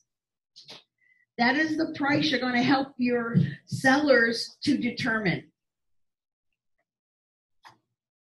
What is the actual market price? Sold price. That's what it's sold for. What's the market price? That means the same what it's sold for, not what it's listed for. Okay, appraisals. Appraisal. What is an appraisal? An appraisal is an opinion from a professional appraiser. And you can send 10 appraisers to the same exact property on the same day, an hour different from each other showing up, and they will all come up with a different value. Every single one of them. All right, so it's their opinion, their opinion on what something is worth. Only an appraisal appraiser can determine value. You, as real estate agents or real estate brokers or professionals, cannot determine value. You can say your property, based on the information I have, your property should sell between here and here. And then throw the ball at them and say, you pick the price. All right. Do you want to be the one that picks the price? Heck no. Make sure no one trips on that. It's over there. Okay. All right. Here are your steps in the appraisal process. Okay. The first one is going to be state the problem. State the problem means that you're getting the job order to go appraise the property. What is it for? Is it for a first loan? Did the property sell or is it being uh, appraised for insurance? They want to find out what, what's the problem? What am I trying to solve here? All right, so they may ask you on the exam, what's the first step in the appraisal process? It's going to be state the problem. Or you might get a question, what is the last step in the appraisal process? And if you look up here, it says prepare the appraisal. But when they ask you the last step, prepare the appraisal is not going to be there. But what is going to be there is the reconciliation of data. So what's going to be your answer? That's right. The correct answer is not going to be there, but you're going to go for the next best correct answer. There's all sorts of reasons why you're going to have a uh, appraisal. A home appraisals, you can be getting conventional loans, FHA loans, VA loans. They're going to find out what it's for. There's several levels to appraisers. First one is appraisal trainee. You haven't even taken the test yet, and you're working pretty much for free. Some states have made it so difficult to get an appraiser license, and I gotta tell you, in Mississippi, our average appraisal age is like 74. Mm-hmm. In the state, anybody get an appraisal lately and see their appraiser? No. You have to work a year under somebody before you can take the test in the state of Mississippi. And if you know I'm training her and she's going to be my competition in one year, am I going to train her? They can't find people to train. So we have very old appraisers right now. They're going to have to loosen it up for sure. Okay, so that's your appraiser trainee. Licensed real estate property appraiser. All these properties, okay, see that number 250,000? I need you to be able to recognize that several times on the exam because it's like that three. Remember when you see three, what is it most likely? The same thing's going to apply for $250,000. So you need an actual license at the $250,000 level. What is your money insured up to a bank to? 250,000. Then we're going to talk about uh, capital gains exclusions, 250,000. So they want to make sure that you know that number. So be prepared for that. So you need a license. Your first license is under 250,000. When you're certified, it's something a property that can be over 250,000, but it can't be really complex. It can't be like uh, 100 units or an office building or something. And then you have the top, which is the certified general property appraiser. Okay, you guys know that I come from a military family. I was a military brat, like someone else in here was. You were as well. Um, you were. Okay, and I always see that word general. I always think the highest or the most important. So when I see general in the appraisal, that's what it is. That is the highest rank in appraisers that you can get. And he's unlimited on what he can appraise. The Uniform Standard of Professional Appraisal Practices is your ethics in real estate. Okay, this is what you're going to be following if you're an appraiser. USPAP. When you see URAR, that stands for Uniform Residential Appraisal Report. That is the form they're going to put the appraiser appraisal on, and it's a standard form. Has anybody ever looked at an appraisal? They're appraisers? Pretty cool, huh? Okay, excellent. Here's the way an appraiser is going to estimate value. He's first going to, he already, well, he should already understand that there's four economic factors or independent economics factors. You have desire. How many people want it? Utility, how useful is it? Scarcity, is it beach property where it's scarce or is it inland? And is it transferable? Is it tied up in court? Is it whatever? Okay, and I call it dust. You also you also have economic uh, principles and property characteristics that are going to, to uh, determine or affect the value of a property. And it would be social. How old is everybody in the neighborhood? Right? Uh, economic, how much does everybody make around here? Government is going to um, affect the value of the property. Are they giving us an extra tax in this neighborhood? Are they put, have they decided to eminent domain some property across the street? Okay, so the government can affect it as well. And then of course environmental forces. Uh, is it a Superfund site? Right? Do I live next to a, a polluted water well? Okay, supply and demand. Principle of supply and demand. Here's your here's one or two questions you can get with supply and demand. The first one's going to be a developer was building a group of homes in a neighborhood, and after he built the first one, he realized that the demand for his home was constant. Okay, what does that statement mean? Demand for his home was constant. Somebody always wants it. So basically, when he sold the first one, he probably had multiple offers, right? That's how I would interpret it. And then they're going to ask you which home most likely sold for the least. The first one, yes. Excellent. The first one. If they don't ask you which one most likely sold for the least, they're going to ask you which one most likely sold for the most. Last one. Excellent. Those are your supply and demand questions. Excellent. Anticipation. We're back to Dan Brown, the master anticipator. That's deciding to sell or not sell or making a real estate decision based on some type of expected future event. A woman decided to hold off on selling her house because she believes that, what she just heard that this factory come into her town and bring in 5,000 jobs. What is she basing her decision on? Anticipation. There you go. When an appraiser does look at a property, he's going to look and say, what is the highest and best use of this property? What can I use this for? And I love this highest and best use because to me it's very subjective, but again, I can't determine the value. Okay, so an appraiser is going to say, is this best as a single family home? Is this best as a grocery store? Is this best as a fraternity house? And that's the position of which, where they're going to start to determine on how to appraise it. Value and use, very subjective. Very subjective. The um, Dan Brown again, the guy who uh, did the reverse condemnation, and Dan Brown went in and offered him money and brought that property where the freeway interconnection was. The guy selling it saw his property for what the other neighbors were eminent domain dads. That's all he wanted. That's he saw that as a valueless property. Dan Brown saw it as a business property. So their value and use was different. I bought a fraternity house. I bought, in fact, I bought the crack house and the frat house in the same month. Yeah, there was there was, there was more crack in the frat house than in the crack house.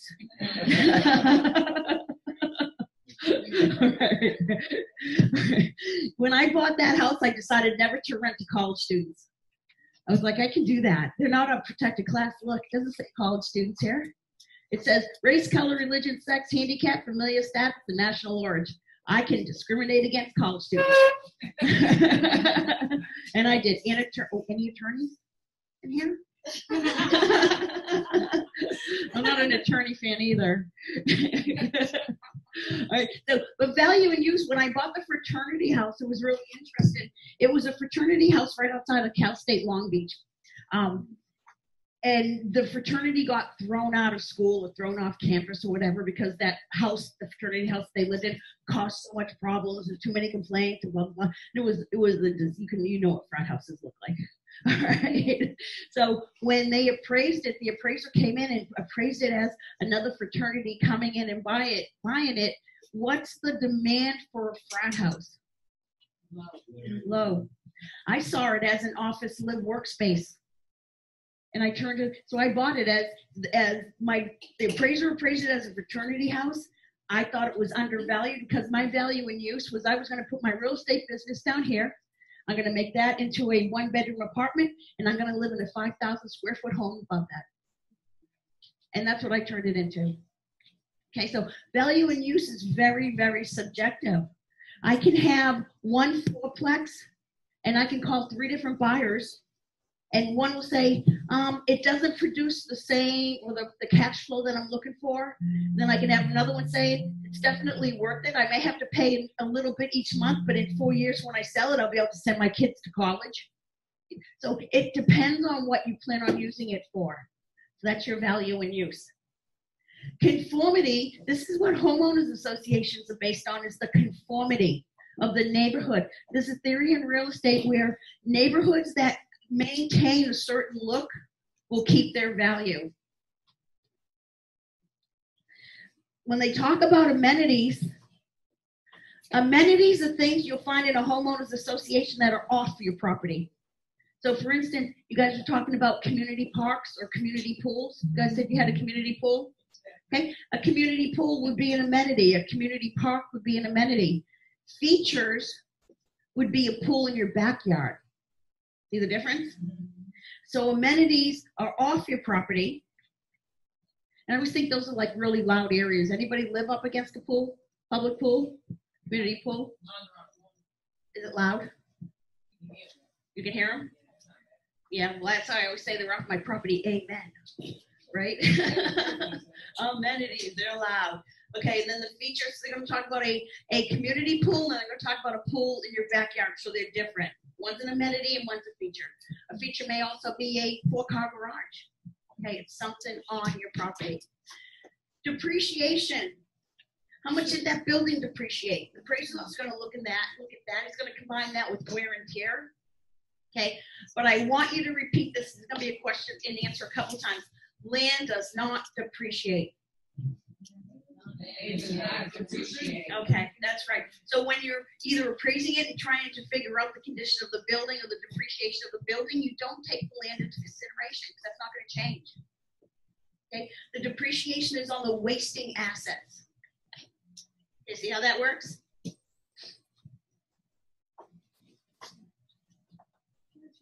Sure about erosion. Like you said, land doesn't depreciate, but what if you're next to something that's, um, it's, you know, eroding away at maybe? Oh, excellent question. Um, names on your front and your back. You guys are all spinning on me. Terry, thank you. Terry saying, what about okay, your land doesn't depreciate, but what if what if you're on like a, a river and the river is coming closer and you're losing You get a canal. or a canal? One of my- one of my houses is on the lake and then it's canal, and both of them are eroding, you have to do something about it. I'm just wondering, Cause you're losing. You're losing. You are. In fact, erosion is, is a way of transferring real estate. You're transferring to someone else if you don't take care of it, right? Um, I don't know how that's considered into depreciation because I know the land itself is not going to depreciate at all. They're just going to take whatever's wearing away. Yeah, you can always rebuild a brand new house on the same property. Yeah, so- sure. I think if you, if you have waterfront, don't you, um, if you don't build it back out, don't you lose or gain land? You can lose and gain land by either a uh, being on a river and a, beach. You guys ever see the beaches that develop? You just gain real estate, or it's washing away, like you're saying, and you're getting closer and closer to your house. You can, that's a way of transferring real estate. So yeah, I don't know, yes, sometimes you can build it out, sometimes you can't, really, depends on where you're at. that's right. Because but you do have excellent. Thank you for saying that, Jet. Yep, yep. Jet, Jet said, um, and he wasn't here for the water rights. On, he said sometimes you can build it out. So on a littoral, if you have a littoral water right, can you, in, all right, let's say that you're allowed to build decks out into the water or a boat here out into the water. Can you stop or build it out so far that big ships can't get down there? No, no, you can't. Okay, you'll, you'll read about uh, littoral water rights and riparian. Thank you. That was an excellent question. Thank you for that. Okay, um, so depreciation is just going to be on your land. I don't know how to answer your question, Terry. That's okay. Anybody have an idea how to answer her question? Hit her with the ball. You have the same problem? What's going on with your property? Um, Use your microphone. There's a stream. Turn it on. You heard it. She forgot.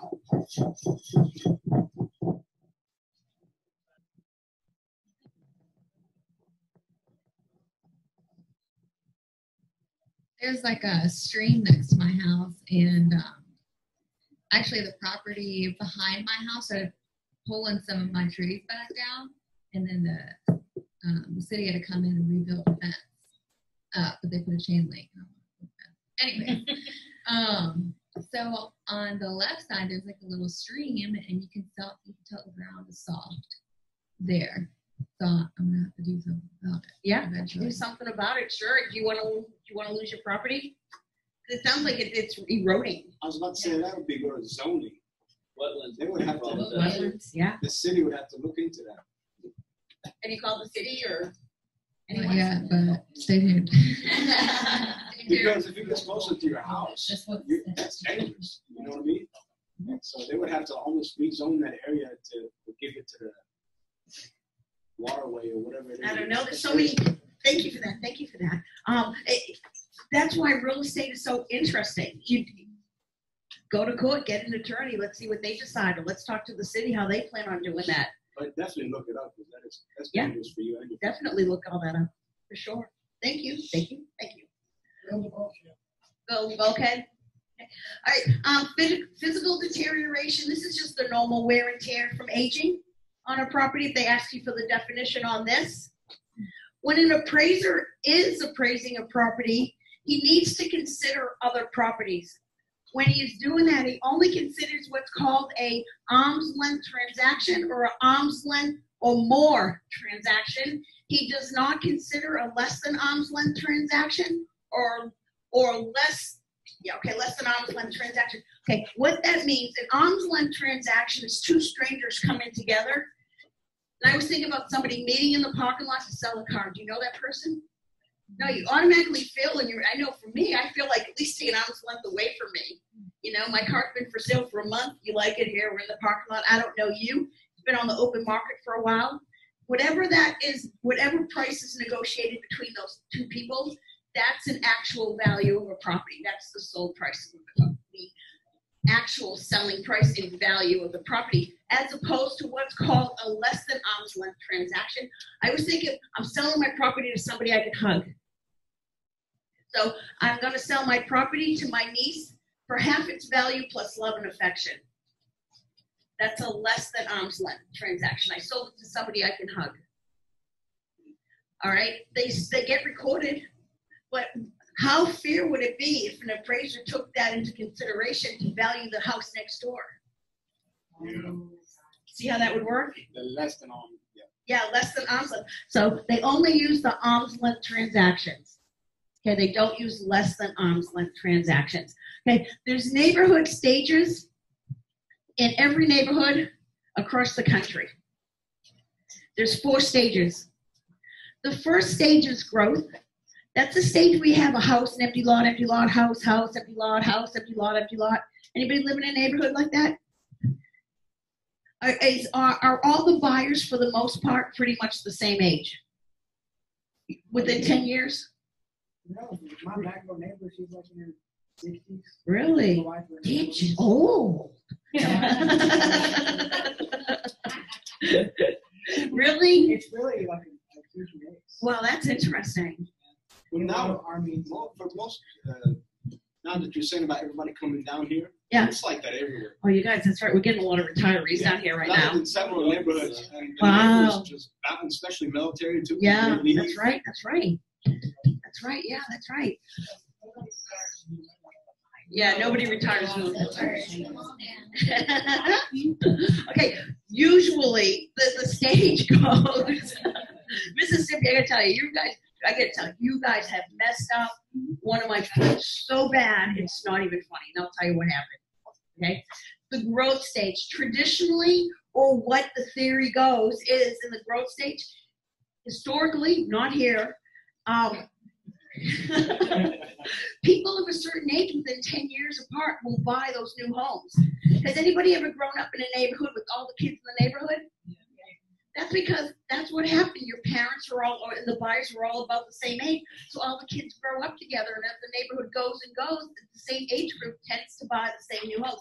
But now we're dealing with retirement communities too, plus the military. Okay, so see how that works? That's your growth stage. That's when the kids are little, the kids are just being born, they just bought it. Your stability stage, this is when the kids start go elementary school, junior high, high school. Kids mowing the lawn every four days because their parents make them go out there and get some exercise. That's when your property, or traditionally speaking, or theoretically, that's when the neighborhood is at its peak. At that point, the stability stage.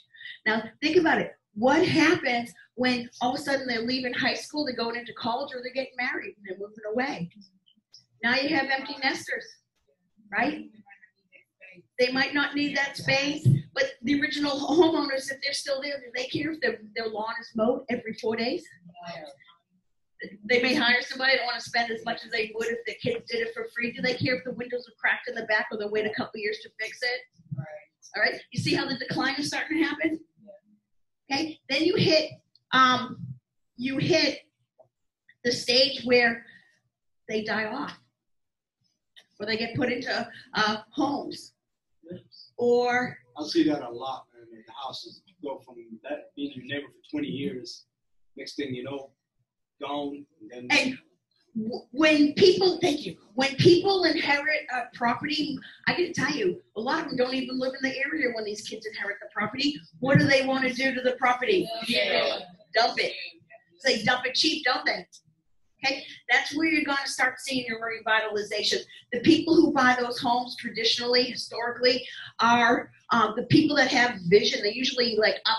What I found out later when I was in Mississippi, I was teaching a or designing a class on how to make money in real estate, how to build wealth in real estate. And and when I was looking at the, the buyers of the revitalization, I knew they were younger and they were like the hip, artistic type people type thing.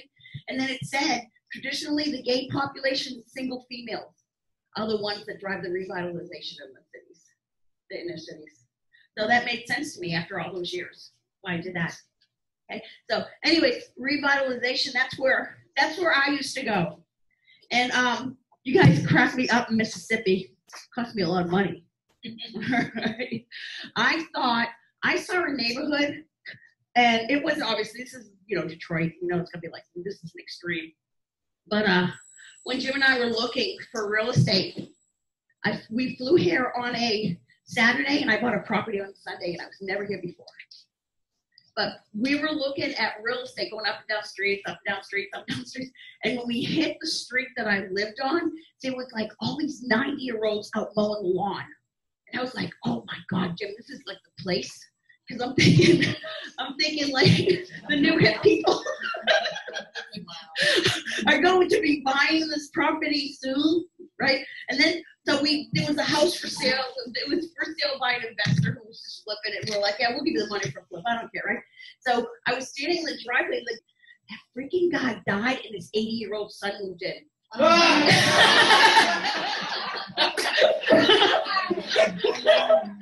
I was so pissed. I was like, so we're still there. this is the longest I've ever lived in a house. I actually have to remodel the kitchen. I mean, I've never had to do that before. so, so you really, you guys, I don't know, you guys live forever here. it's the water. It's the water. It is good water, actually. All right. So, anyways, water preserves. it's yeah. you guys, I couldn't, I couldn't believe it. Okay. Then revitalization was what I thought my neighborhood would do, but I still got people alive on my street. It's, it's amazing. It's unbelievable.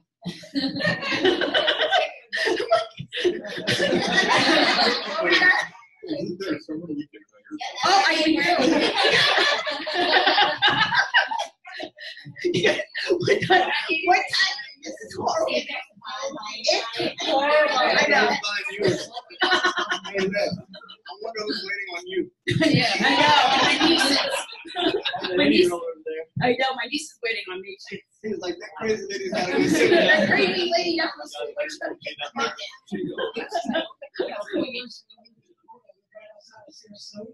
Where's the- And when we'd see an ambulance go down the road, we'd be like, ooh, condo available. Oh, oh, no. Yeah. No, I'm I. looking for mobile home. They have mobile home for you. You think there's no home in Mississippi go for? No, I I know. Yeah. Like Oakland Beach. Tornadoes, drains for. I know, I know, I know. Yeah. No, I followed, I followed a fire truck one time right to my street. I was like, I know it's going to my street. I got right behind it. And lo and behold, it went to my street. And I, I, I stopped, I talked to the guy's son, who was like, you know, seventy-five.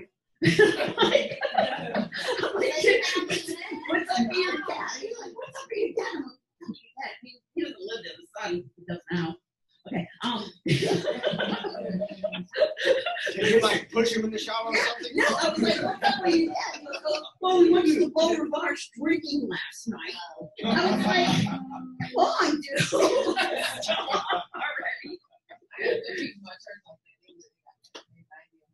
Oh, you guys look forever down here. It's awesome. It's awesome. That's really Apparently cool. not. You're used to people dying in car crashes in California. It doesn't work for you here. You know? Yeah, they go like thirty on. Yeah, Right. that's so slow. Alright, so that, then you hit your revitalization again, and that's when your property has come full cycle. It's in this, it's in this revitalization state that you're going to start seeing your go zones or your incentive zoning. So, if I gotta tell you, I am not going to buy the most expensive property in the neighborhood.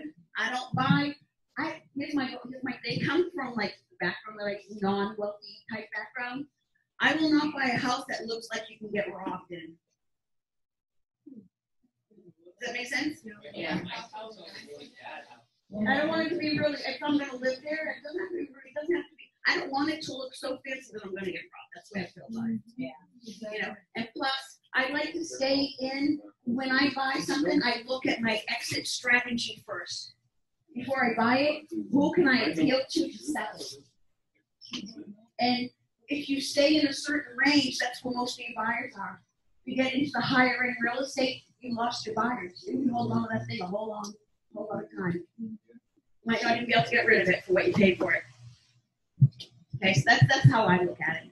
And as far as my investment properties, my investment properties are, I will never, for an investment, I don't look at my house as an investment now. Okay, um, but, but, Your um. neighbor's house. You may know. But I, I'll only buy like, the minimum units I'll buy is two units for an investment property. Because if I have a vacancy, I only want half the vacancy. My magic number is four. That's where I've made my most money, is four units with two bedrooms. Like fourplex? A fourplex, two bedrooms, not three bedrooms, two bedrooms. That's where I've made my most money, so my clients have made their most money. Because at four units, you can get single family loans. You can get FHA loans, you can get veterans loans. And I told you how I, my first property that I bought with the two cottages on a lot, it's considered a duplex. And how it's making eight dollars an hour. I bought that property for hundred and forty-nine thousand dollars. I did not qualify for the loan on that property. But once you added the income from the proposed rent on the unit I was going to be rented, that got added to my monthly income. And that's what qualified me for the loan. So they'll do that when you do the loan. If you, yes. Yes. All right, so that's, that was my specialty, was starting with my friends that made money like I made money, very little money. And we all bought like two units, three units, four units, and then just kept trading them in, trading them in, trading them in. Sure, no, just going up that, um. Um, if they've only got two bedrooms, right, four units. Right. Aren't you kind of missing out and you could have four people staying in the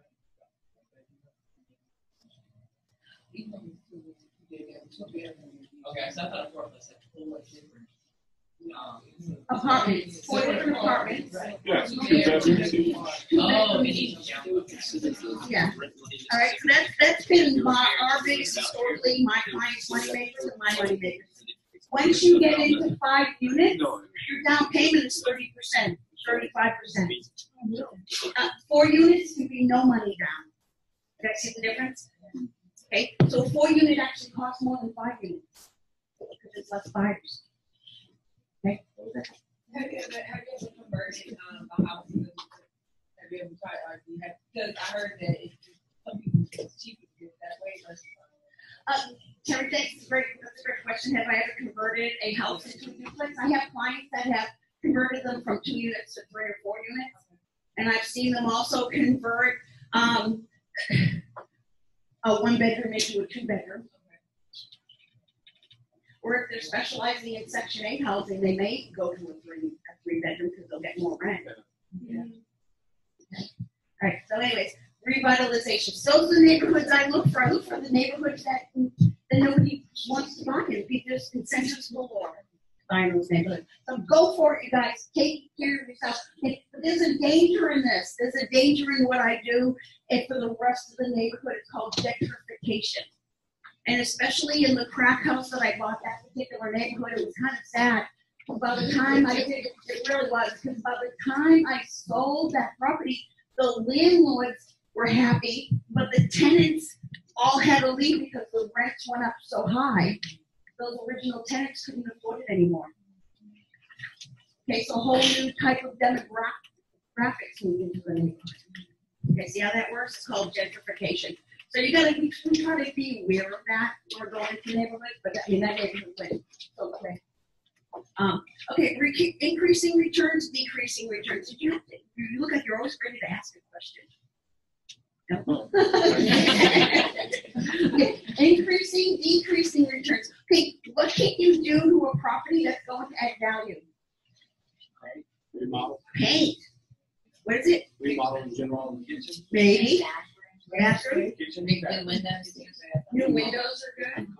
Paint. Paint's my first thing I go to. It's cosmetic. Yeah, cosmetic. I call it putting lipstick on a pig. So the insulation's good. Huh? So the insulation's good. No black mold. No black mold. No black mold. That's right. No black mold. All right. So you guys get the idea of things you to increase the value of the property. Okay. Decreasing returns. Oh, hmm. Yeah. Yeah. It may or may not. Yeah, that can go either way. Pools can go either way. I'm not ready to blow mine up. That's true. He said most of the time you don't get your money back on a pool. It's like rims on a car. It's like rims on a car. That's expensive in the car. Yeah. Like, can they give me the rims to keep the car? Oh yeah. No, I had I had a millionaire client that stereo was moving the car. Jeez. Dude, why? Okay. All right. So obviously, there's things that you you can't add anymore.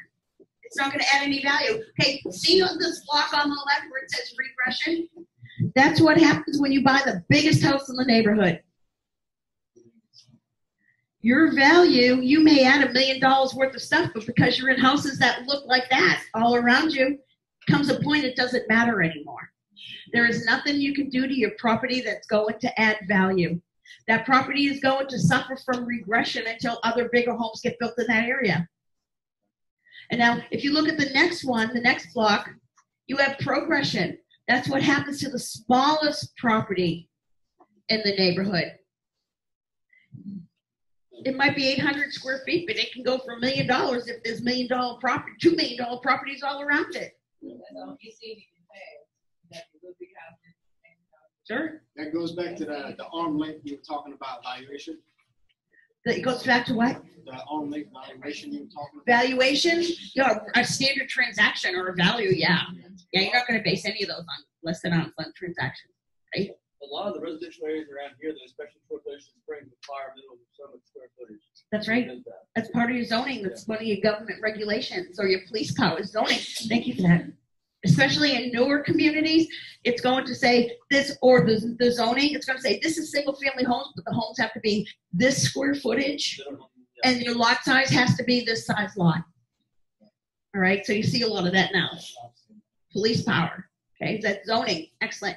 Okay, you have physical functional obsolescence that also affects the value of the property and external economic obsolescence. Let's start with physical function. What's wrong? That didn't work out.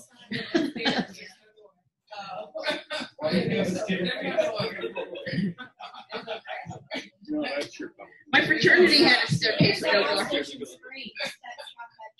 You, is, is there really a house that has an issue for parking? There's a garage on, it's on The garage door's on the wrong side. the. Oh, I see driveway.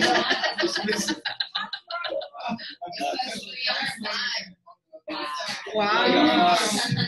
We're gonna make a circle drive. You know, some funny stuff. Yeah, something like that. No, my fraternity house had one of those stairs with no door. I made it a, a planter with hanging plants. Like, hey, words. Okay. Um, so anyways, but you can fix that, can't you? Sure. Physical function obsolescence, you can fix that. Those are things that are on your property. Now, external economic obsolescence, these are things that affect your property outside of your controls, like being in the path of a uh, airport.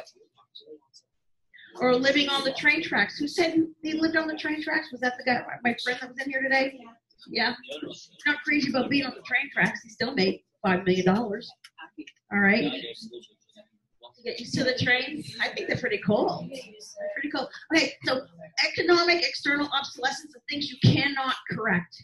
You cannot cure on the test. They're going to say cure, C-U-R-E. Okay, we're gonna. I'm gonna go through the three methods of the appraisals.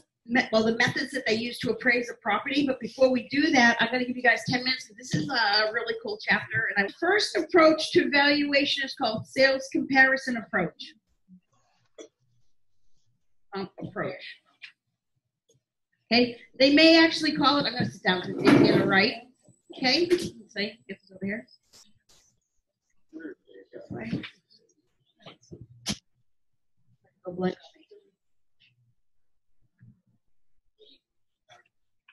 I powered it off.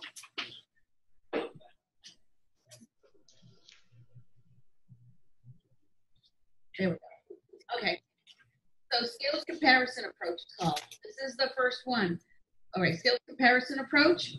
They also have, um, they may call it market data. Market data. Data approach. This is how you're going to figure out how much your home costs, your single family residence is going to cost. Okay, first of all, what they're going to do is they're going to go and try to find the value of your house. So let's say this is your house. Your house is going to be called the subject house. Subject house. And I always say, don't touch my house. We have to figure out how to adjust the, the comparables. Okay? Let's give yourself a pool. We like a pool. Okay? The appraiser is first, before he does anything, he's going to go look at your, your house. He's going to pull up all the data on it from the county, see how many square footage, any other sales information from history of the property. And then he's going to go look at it. He's going to say, okay, it's in pretty decent shape. I know a pool in this community, no matter what, adds about $10,000 value to the property. So then he's going to go out and he's going to find at least three comparable properties. Comps. There you go. Let's put in comps. Comps. All right. So let's say he finds this house, but it happens to have a patio. He finds this house. Then he finds this house, has a patio, and a pool. They sold- so to find properties that sold as close in time as the day he's trying to find the value to your house. So did it sell yesterday? Did it sell the next day? Is it the house next door? What about the house down the street? It's going to be as close in time and as close physically as possible. They're going to say, okay, this one sold for two. This one sold for 190. Good information. Hmm? Get some good information. You know, kind of pulling it, pulling it together. Get some good appraisal stuff. But then it's a, it's a neighborhood. Okay, so you guys spread out stuff around. I have seen um, the new zip codes, the same zip codes, or in the same subdivision, or the same. It's, it's going to be again. It's going to be opinion of the professional appraiser.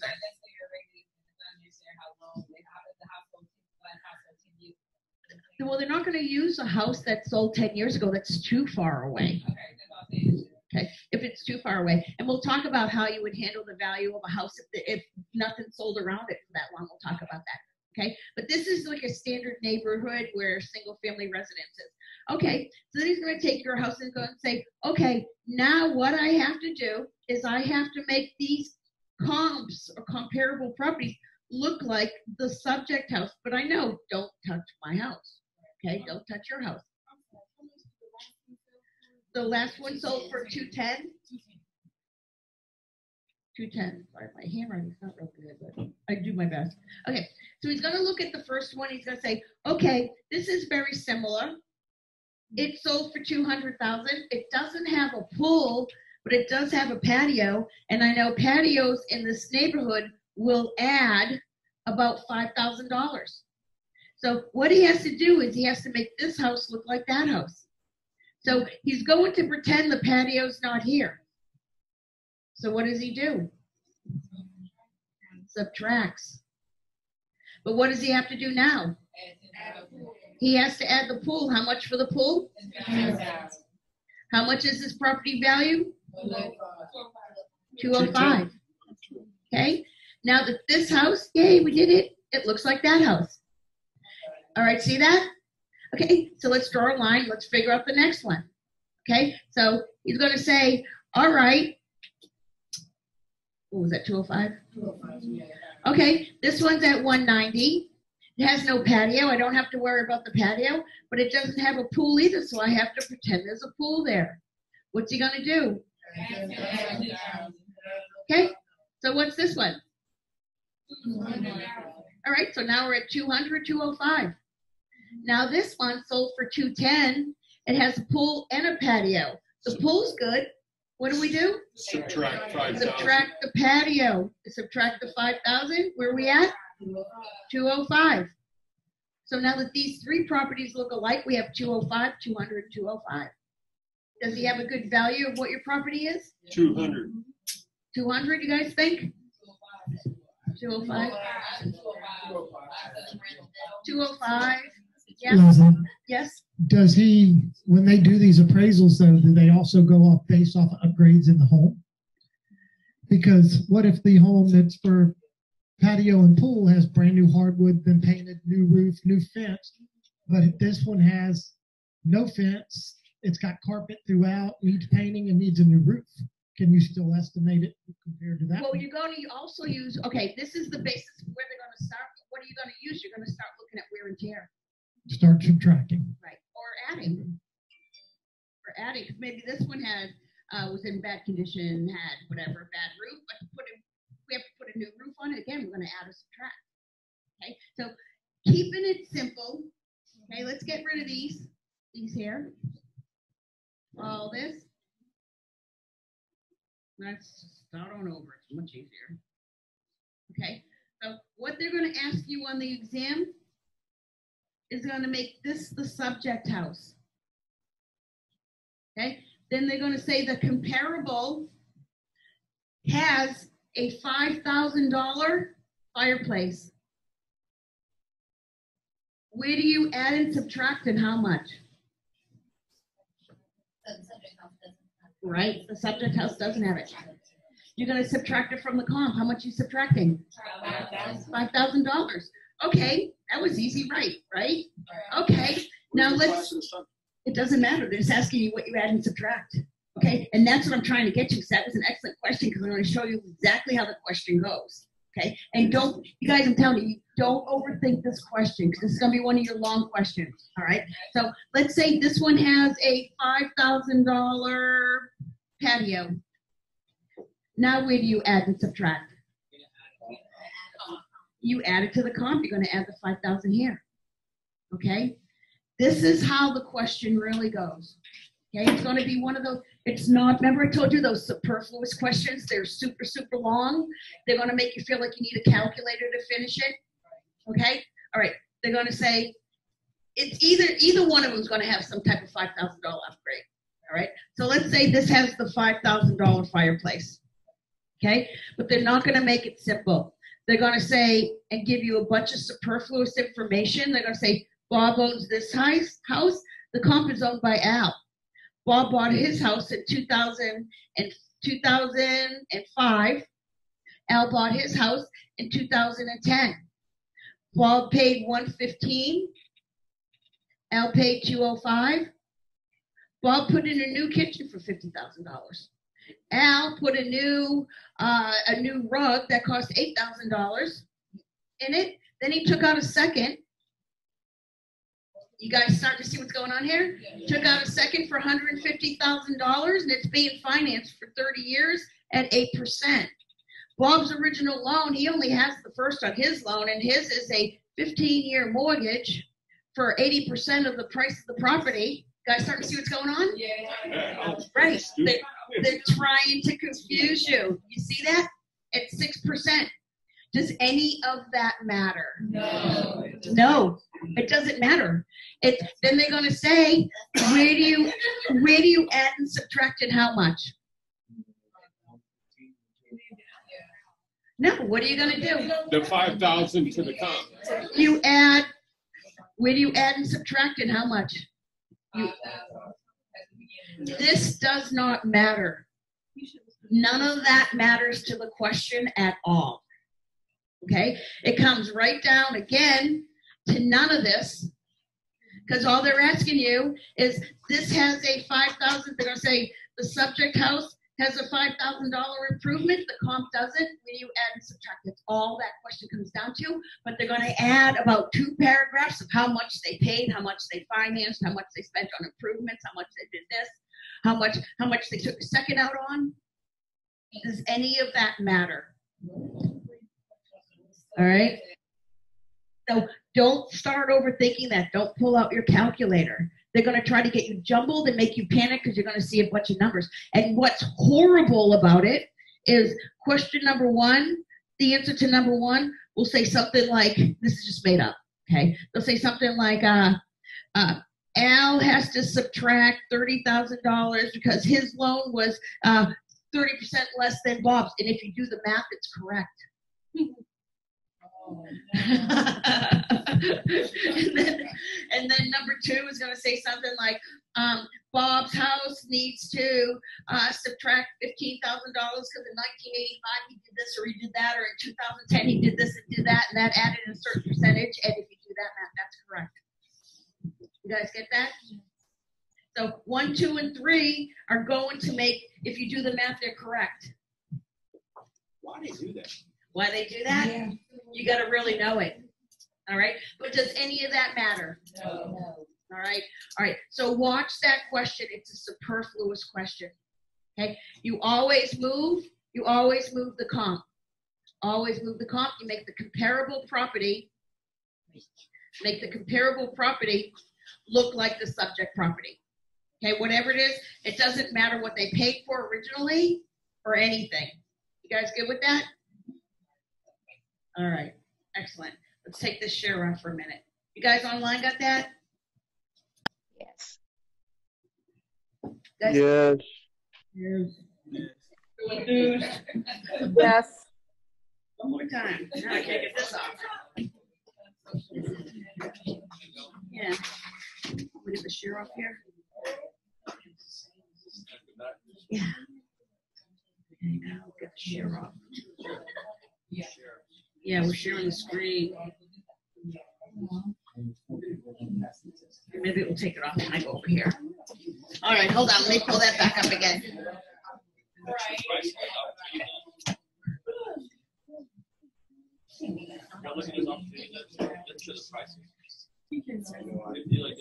There you go. You're off. You're off. Huh? Yeah, that's what I was trying to do, get off there. There you go. All right, excellent. Thank you so much for that. All right, so back to this. So this is considered the market or sales comparison approach. This is your regular property, your single family residences. And it's as basic as it can. In the book and online, I'm going to give you the scenario we just went over. The date of the, of the comparables is important. Like we said, it can't be 10 years out, right? It can't be 10 years away. So they're going to ask you what's important. The date's going to be important. Okay? So what happens? What do you do here? What do you, what do you change here? You add the 5,000, right, to the comparable property. Excellent. What do you do here? Excellent.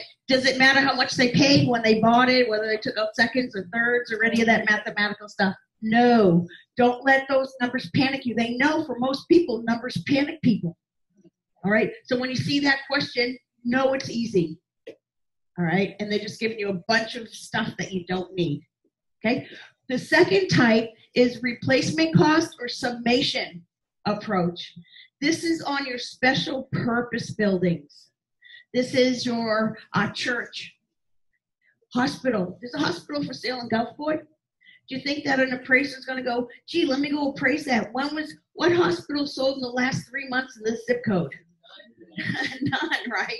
So what they do is they walk through the building and figure out how much it would cost to rebuild this building, the same identical building with new materials. All right, see that? How much would it cost? On this question though, they're gonna ask you, um, all right, we added it up. What's the last thing you're gonna do on a cost approach? What else has value? The land. The land, excellent. You're gonna, yes, add in the value of the land. Okay, so that's the last thing you're gonna do. This is for your libraries, your city hall, churches, hospitals, things that you don't have comparables for. They're gonna call them special purpose buildings. Okay? You can do re- reproduction or replacement cost.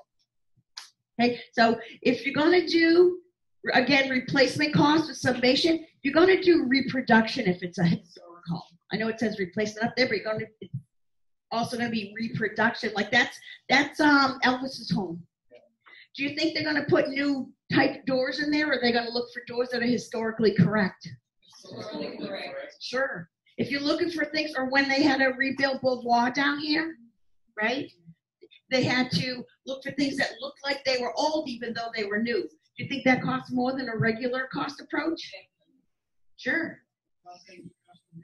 Yeah, a lot of them are custom made. Sure.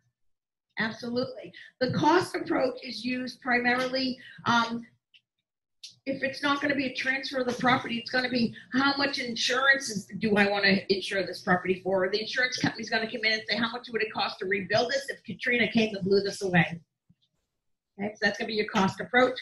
So replacement cost, equally desirable substitute, reproduction costs, these are your historic homes. Okay, and it's going to cost more. When you're looking at replacement cost, and we talked about what if there's no comps that's 10 years out that the last property sold? This is the way they word that similar question. Same concept on the test. To say, a new home was built on a farm, brand new, for a family of, they'll say a family of six, they're gonna give you a whole story. Family of six, they wanted four bedrooms, but they ended up being able to like get five bedrooms for the same price as the four bedroom. They're gonna give you all the financing on it, what they added, what they didn't add. It's gonna go on and on and on and on and on. And now they wanted to praise because they want to go from a construction loan to a regular mortgage. How is it going to be appraised? Replacement cost. Okay, so you are going to use in a single family residence, there's nothing to compare it to, it's going to be your replacement cost. So that's the same thing. If, if the nearest home sold 10 years ago, you're going to use this. Okay, all right, so you guys got that? The quantity survey method, this is extremely time consuming. Um, where the appraiser's going to go around, he's going to just instead of saying, I don't know, in this size house, we usually have uh, X amount of copper wiring. They're actually going to measure the copper and wiring, go out there and measure every inch of it. Okay, it's really, really time consuming. The last one is unit in place. Not only are they going to go actually measure everything, they're, uh, they're going to add in how much is it going to cost to get everything transported to the property. Okay, the third type, the third main type is the income approaches. This was my baby. I love numbers. I'm good with that. Okay, you have a gross rent multiplier and a gross income multiplier. And I'm going to make this easy for you guys to remember so you pass the exam. If your goal in here right now is to pass the exam. If, cause think about it, if you don't pass the exam, you're never going to hang around with the people that like flip properties and sell properties and do all the fun stuff, right? So that's your first number one goal. Pass this exam so you can get out there and learn the rest of it. So this is what you need on income approaches to pass the exam. We're going to start with what's known as the capitalization rate. A capitalization rate on a property is going to determine the rate of return. How quick am I going to get my money back? So it's your return on investment. They may just call it the cap rate, CAP, they might call it, they might just spell it all out, the capitalization rate. The first one we're going to go over on the income property is a lot of the ones that I dealt with mostly because I love to stay four and below units because that's instead of bu- I can tell you instead of me buying a, a 20 unit apartment, I'll buy a fourplex and a fourplex and a fourplex and a fourplex before I go out and buy a 20 unit building because I think about selling it. Who can 20 unit apartment building minimum 30% down? Who has that? How about a fourplex? Zero money down. or you can get a, a, a grant, first time home buyer grant, right? So again, that falls into supply and demand. Okay, so when I see this R in the middle of that, GRM, I think residential, take that R. Remember, you're gonna take those letters and get, get the answers. Residential, one to four units is residential. All right, so this is what you're gonna use on your rent, on your residential income. I mean, on your residential properties, one to four unit. If they say that there's a person who's going to be buying a single family home to rent, what are you gonna use? GRM. In, in real life, they're going to use uh, a comparative comparable method and this, and then reconcile them. Okay, but when they're talking about renting it, you're going to use the GRM. What they do is they add up the gross yearly income. I do have clients that add up the gross monthly income, and I do that. That's how I do it. I figure out my monthly income, then my, what my monthly bill is, and then I, that's what I decide I'm going to buy it on and it's not on what's the rents are coming in today it's what the rents should be coming in today because a lot of these things get valued at what the current rent is and a lot of them are under rented all right so i always project it on what it should be or what it could be all right so this is where you get good deals especially if they have long-term tenants chances are they haven't raised the rent and the value of the property is worth what their rents are so it probably looks really bad on paper Rents, renters have been there for year, for years. They're paying four hundred dollars. It should be seven fifty. I don't want to move them. They pay on time. They never bother me. Blah blah blah. Here's my gross rent multiplier. Here's my number. Does that look bad? Rent should be seven fifty. Okay, so you go in and you buy it. You raise all the rents to seven fifty. Now what's the property worth? Almost double what they. That's right. It almost doubled just there. You made a what? A couple hundred thousand dollars just by bringing the rents up to market rent. Right? See how that works? Yeah, that's why this is my area. I like it. okay. All right. All right. Gross income multiplier. This is going to be, I take that I, investors. This is where we're going to find all the real investors, the big guys. Okay. This is going to be on your commercial properties, your commercial residentials, which is five units and above. And instead of the gross income, they're looking for the net yearly income, meaning what they're going to do is how much does it take in? Now, how much did it cost? Never consider the loan and income properties. The loans are not considered when you're valuing the cap rate or the income multipliers or the rent multiplier and using the mortgage mortgages are considered what's called incidental. Huh? You, when you're valuing your gross rent multiplier, your gross income, well, your gross income multiplier, when you're subtracting the expenses, you do not use the expense of the mortgage. Mortgages are not considered considered in valuing property because some people might be paying cash. Right? Is your mortgage an actual needed expense on an income property? No, you chose to get a mortgage. You could pay probably cash, right? Right. So you don't consider that when you're figuring out the gross income multiplier. And what what it's going to do is it's going to find your capitalization rate, and the capitalization rate is what gives you your your rate of return. Okay. So in the real world, appraisers are going to use several methods to determine the value of your property. They may decide to do um, other types like square footage method methods. Oh, well, what does this neighborhood get per square footage. You know, or when you go to build something, how much do you charge per square footage? Right? So they're re- going to reconcile all of those. Okay, a competitive or comparative market analysis is a tool that you're going to use as a real estate agent, whether you're a broker or a salesperson. And you cannot determine value because the only one that can ter- determine value is who? Appraiser. Appraiser. That's right. And what is it again? An opinion. What form does he use? Yeah. Uniform. U R A R. Very good. Awesome. Okay, but a CMA, what it is, this is what you're going to do when a seller calls you up and says, um, I want to sell my house. Where is it? Right? You're going to answer, where is it? And okay, and here's something that's not on the exam that I want to give you that I'm surprised a lot of agents don't use. Guys, ever use the Google map? Google the I'm in front of my computer a lot of times when I get those phone calls, and I will Google the address and hit maps. What's that do? Brings you right to their house. I don't even have to put the city in. Brings you right to their house. And then I put the little satellite on instead of the street thing. And then you know that little guy that you can put in front of the house? I bring that guy in front of the house and I return their conversation and I'll say, Oh, you mean the house with that red door?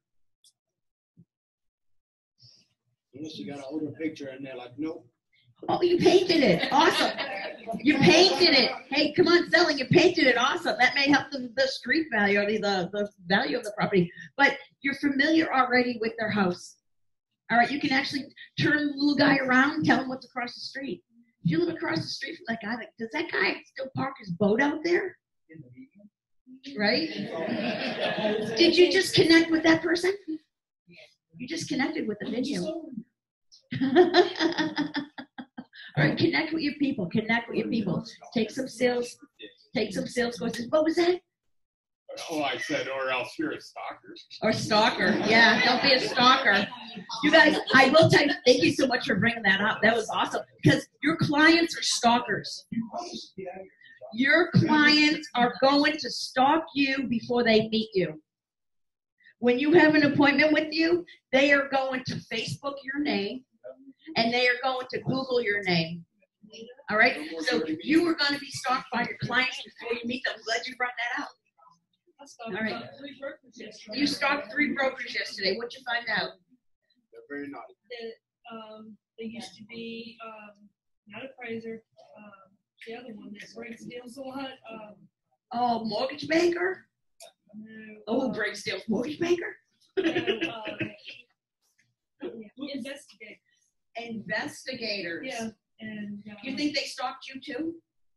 Did you make a phone call to them? not yet. Uh, well, yeah, Yeah. yeah, but, uh, yeah, possible. Yeah. But uh, when I looked at their, their Facebook, I looked at the, then I found from there where they work, and then I looked up where they work, and then I looked up how many people's in the company, and I looked up how many licenses for the. Before you even called them, huh? Yeah. before- I'm telling you, before your clients meet you, they stalked you. Oh, I. Clean up your Facebook. Clean up your Twitter. Clean up, or if you have to hire somebody to, to like hide that time you you got really drunk Oh, and you did something really ridiculous and you got pulled over, you know, you might want to like, if it's on Google somewhere, some news article, you might want to hire somebody to clean that up. But get rid of your drama. All right, get rid of your drama because they are going to start you. Okay, so a CMA is going to be when you're when the person comes up and says, I want to sell my house, I'm telling you, I'm going to tell you, I'm gonna look up before I meet them. I am stalking them before I look up when I think about it. I'm gonna like totally Google their name to see if that property just that person just died and I'm actually talking to the son of the property. Right? See that? All right. Are they just trying to dump the property? Or are they, gee, do they just have some type of public record happen? I know in some states you look at divorces. Ooh, they just got divorced. And this is. You can go to the county website. You can go to the county website and find that stuff out. Actually, they got so many sites now for pennies. Right. They With just look- somebody's phone number. You can pull up Yeah. their whole life. You guys, I want to know what I'm walking into. Okay, but after Oh, you it's- do that, what are you gonna do? The CMA, what you're gonna do is you're gonna find out the square footage of that property. You're gonna take the information that the seller gives you, and then you're going to look for comparable properties that just sold in the neighborhood as if you were an appraiser. Okay, this house down the street sold for two ten. This two streets over sold for two fifteen. This one sold about four months ago. That was at two ten. What's it tell you? Just right there. Four months ago, two ten. Now you're at two fifteen. Leslie, Listed at two seven. Leslie, where do you where do you go to find these comp prices? You're going to have access to the multiple listing service. And your MLS Okay, thank you. property sells, you have to say it sold and how much it sold for. Thank you for that question. That was an excellent question, by the way. It's not something that like websites like Zillow, Trulia, base there. Zillow, Zillow is your enemy. Okay. What is it called? Zemest- uh, Yeah, it's estimate. Zillow is the thing that you're going to spend most of your time, your objection, for those in the, who have taken sales training, that's your biggest objection in real estate. Zillow's going to tell Michael that his house is worth 275 but nothing in his neighborhood has sold for 110 and they called you because they think there's a ton of profit in it, and they saw that 275 I want to sell my house for two seventy five. I'll take a little less, maybe two seventy.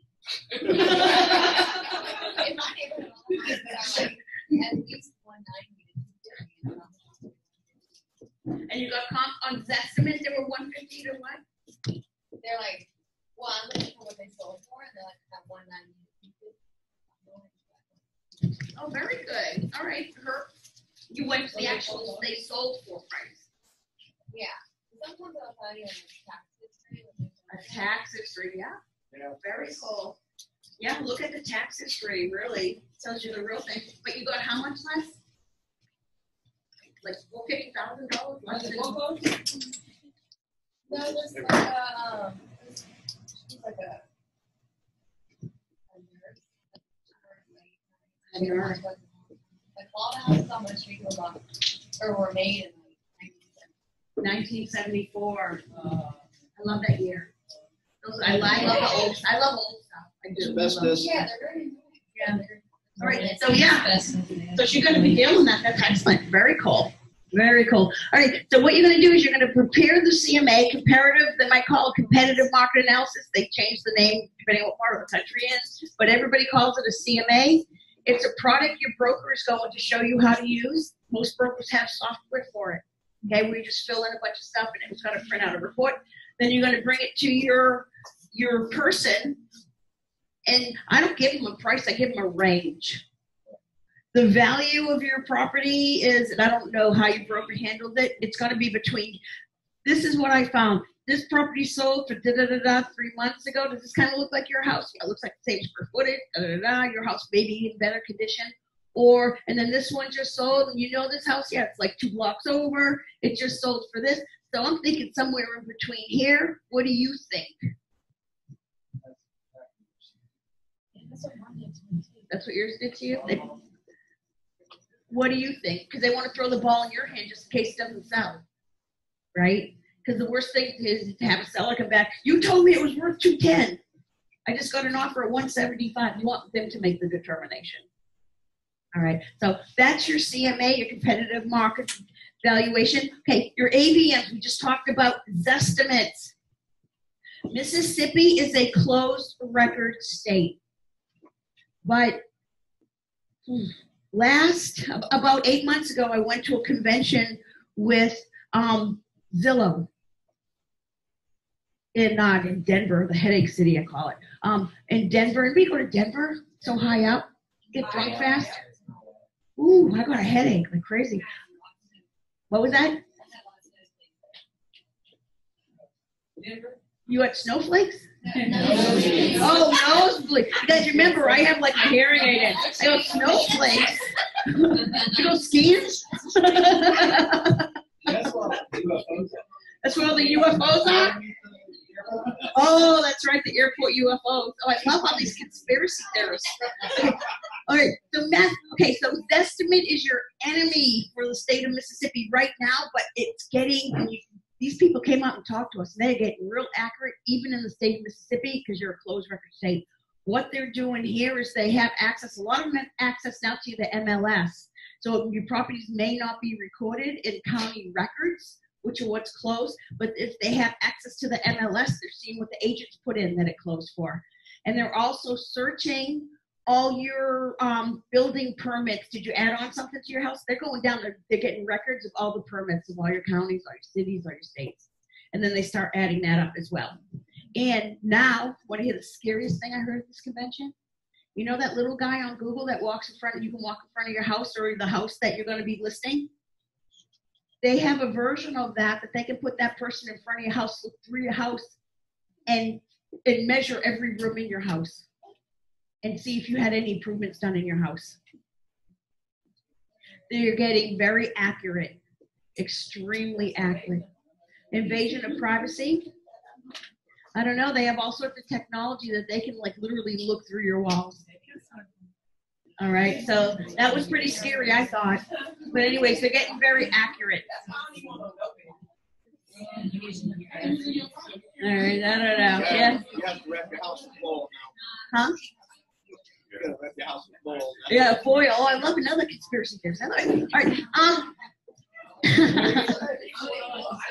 okay, you guys. There is a um a, a pamphlet that the Appraisal Institute has that I love called "Understanding the Appraisal." You guys, it's free to download if you want to download it. All right. Why don't you guys? Give you a All right. Huh? Give you a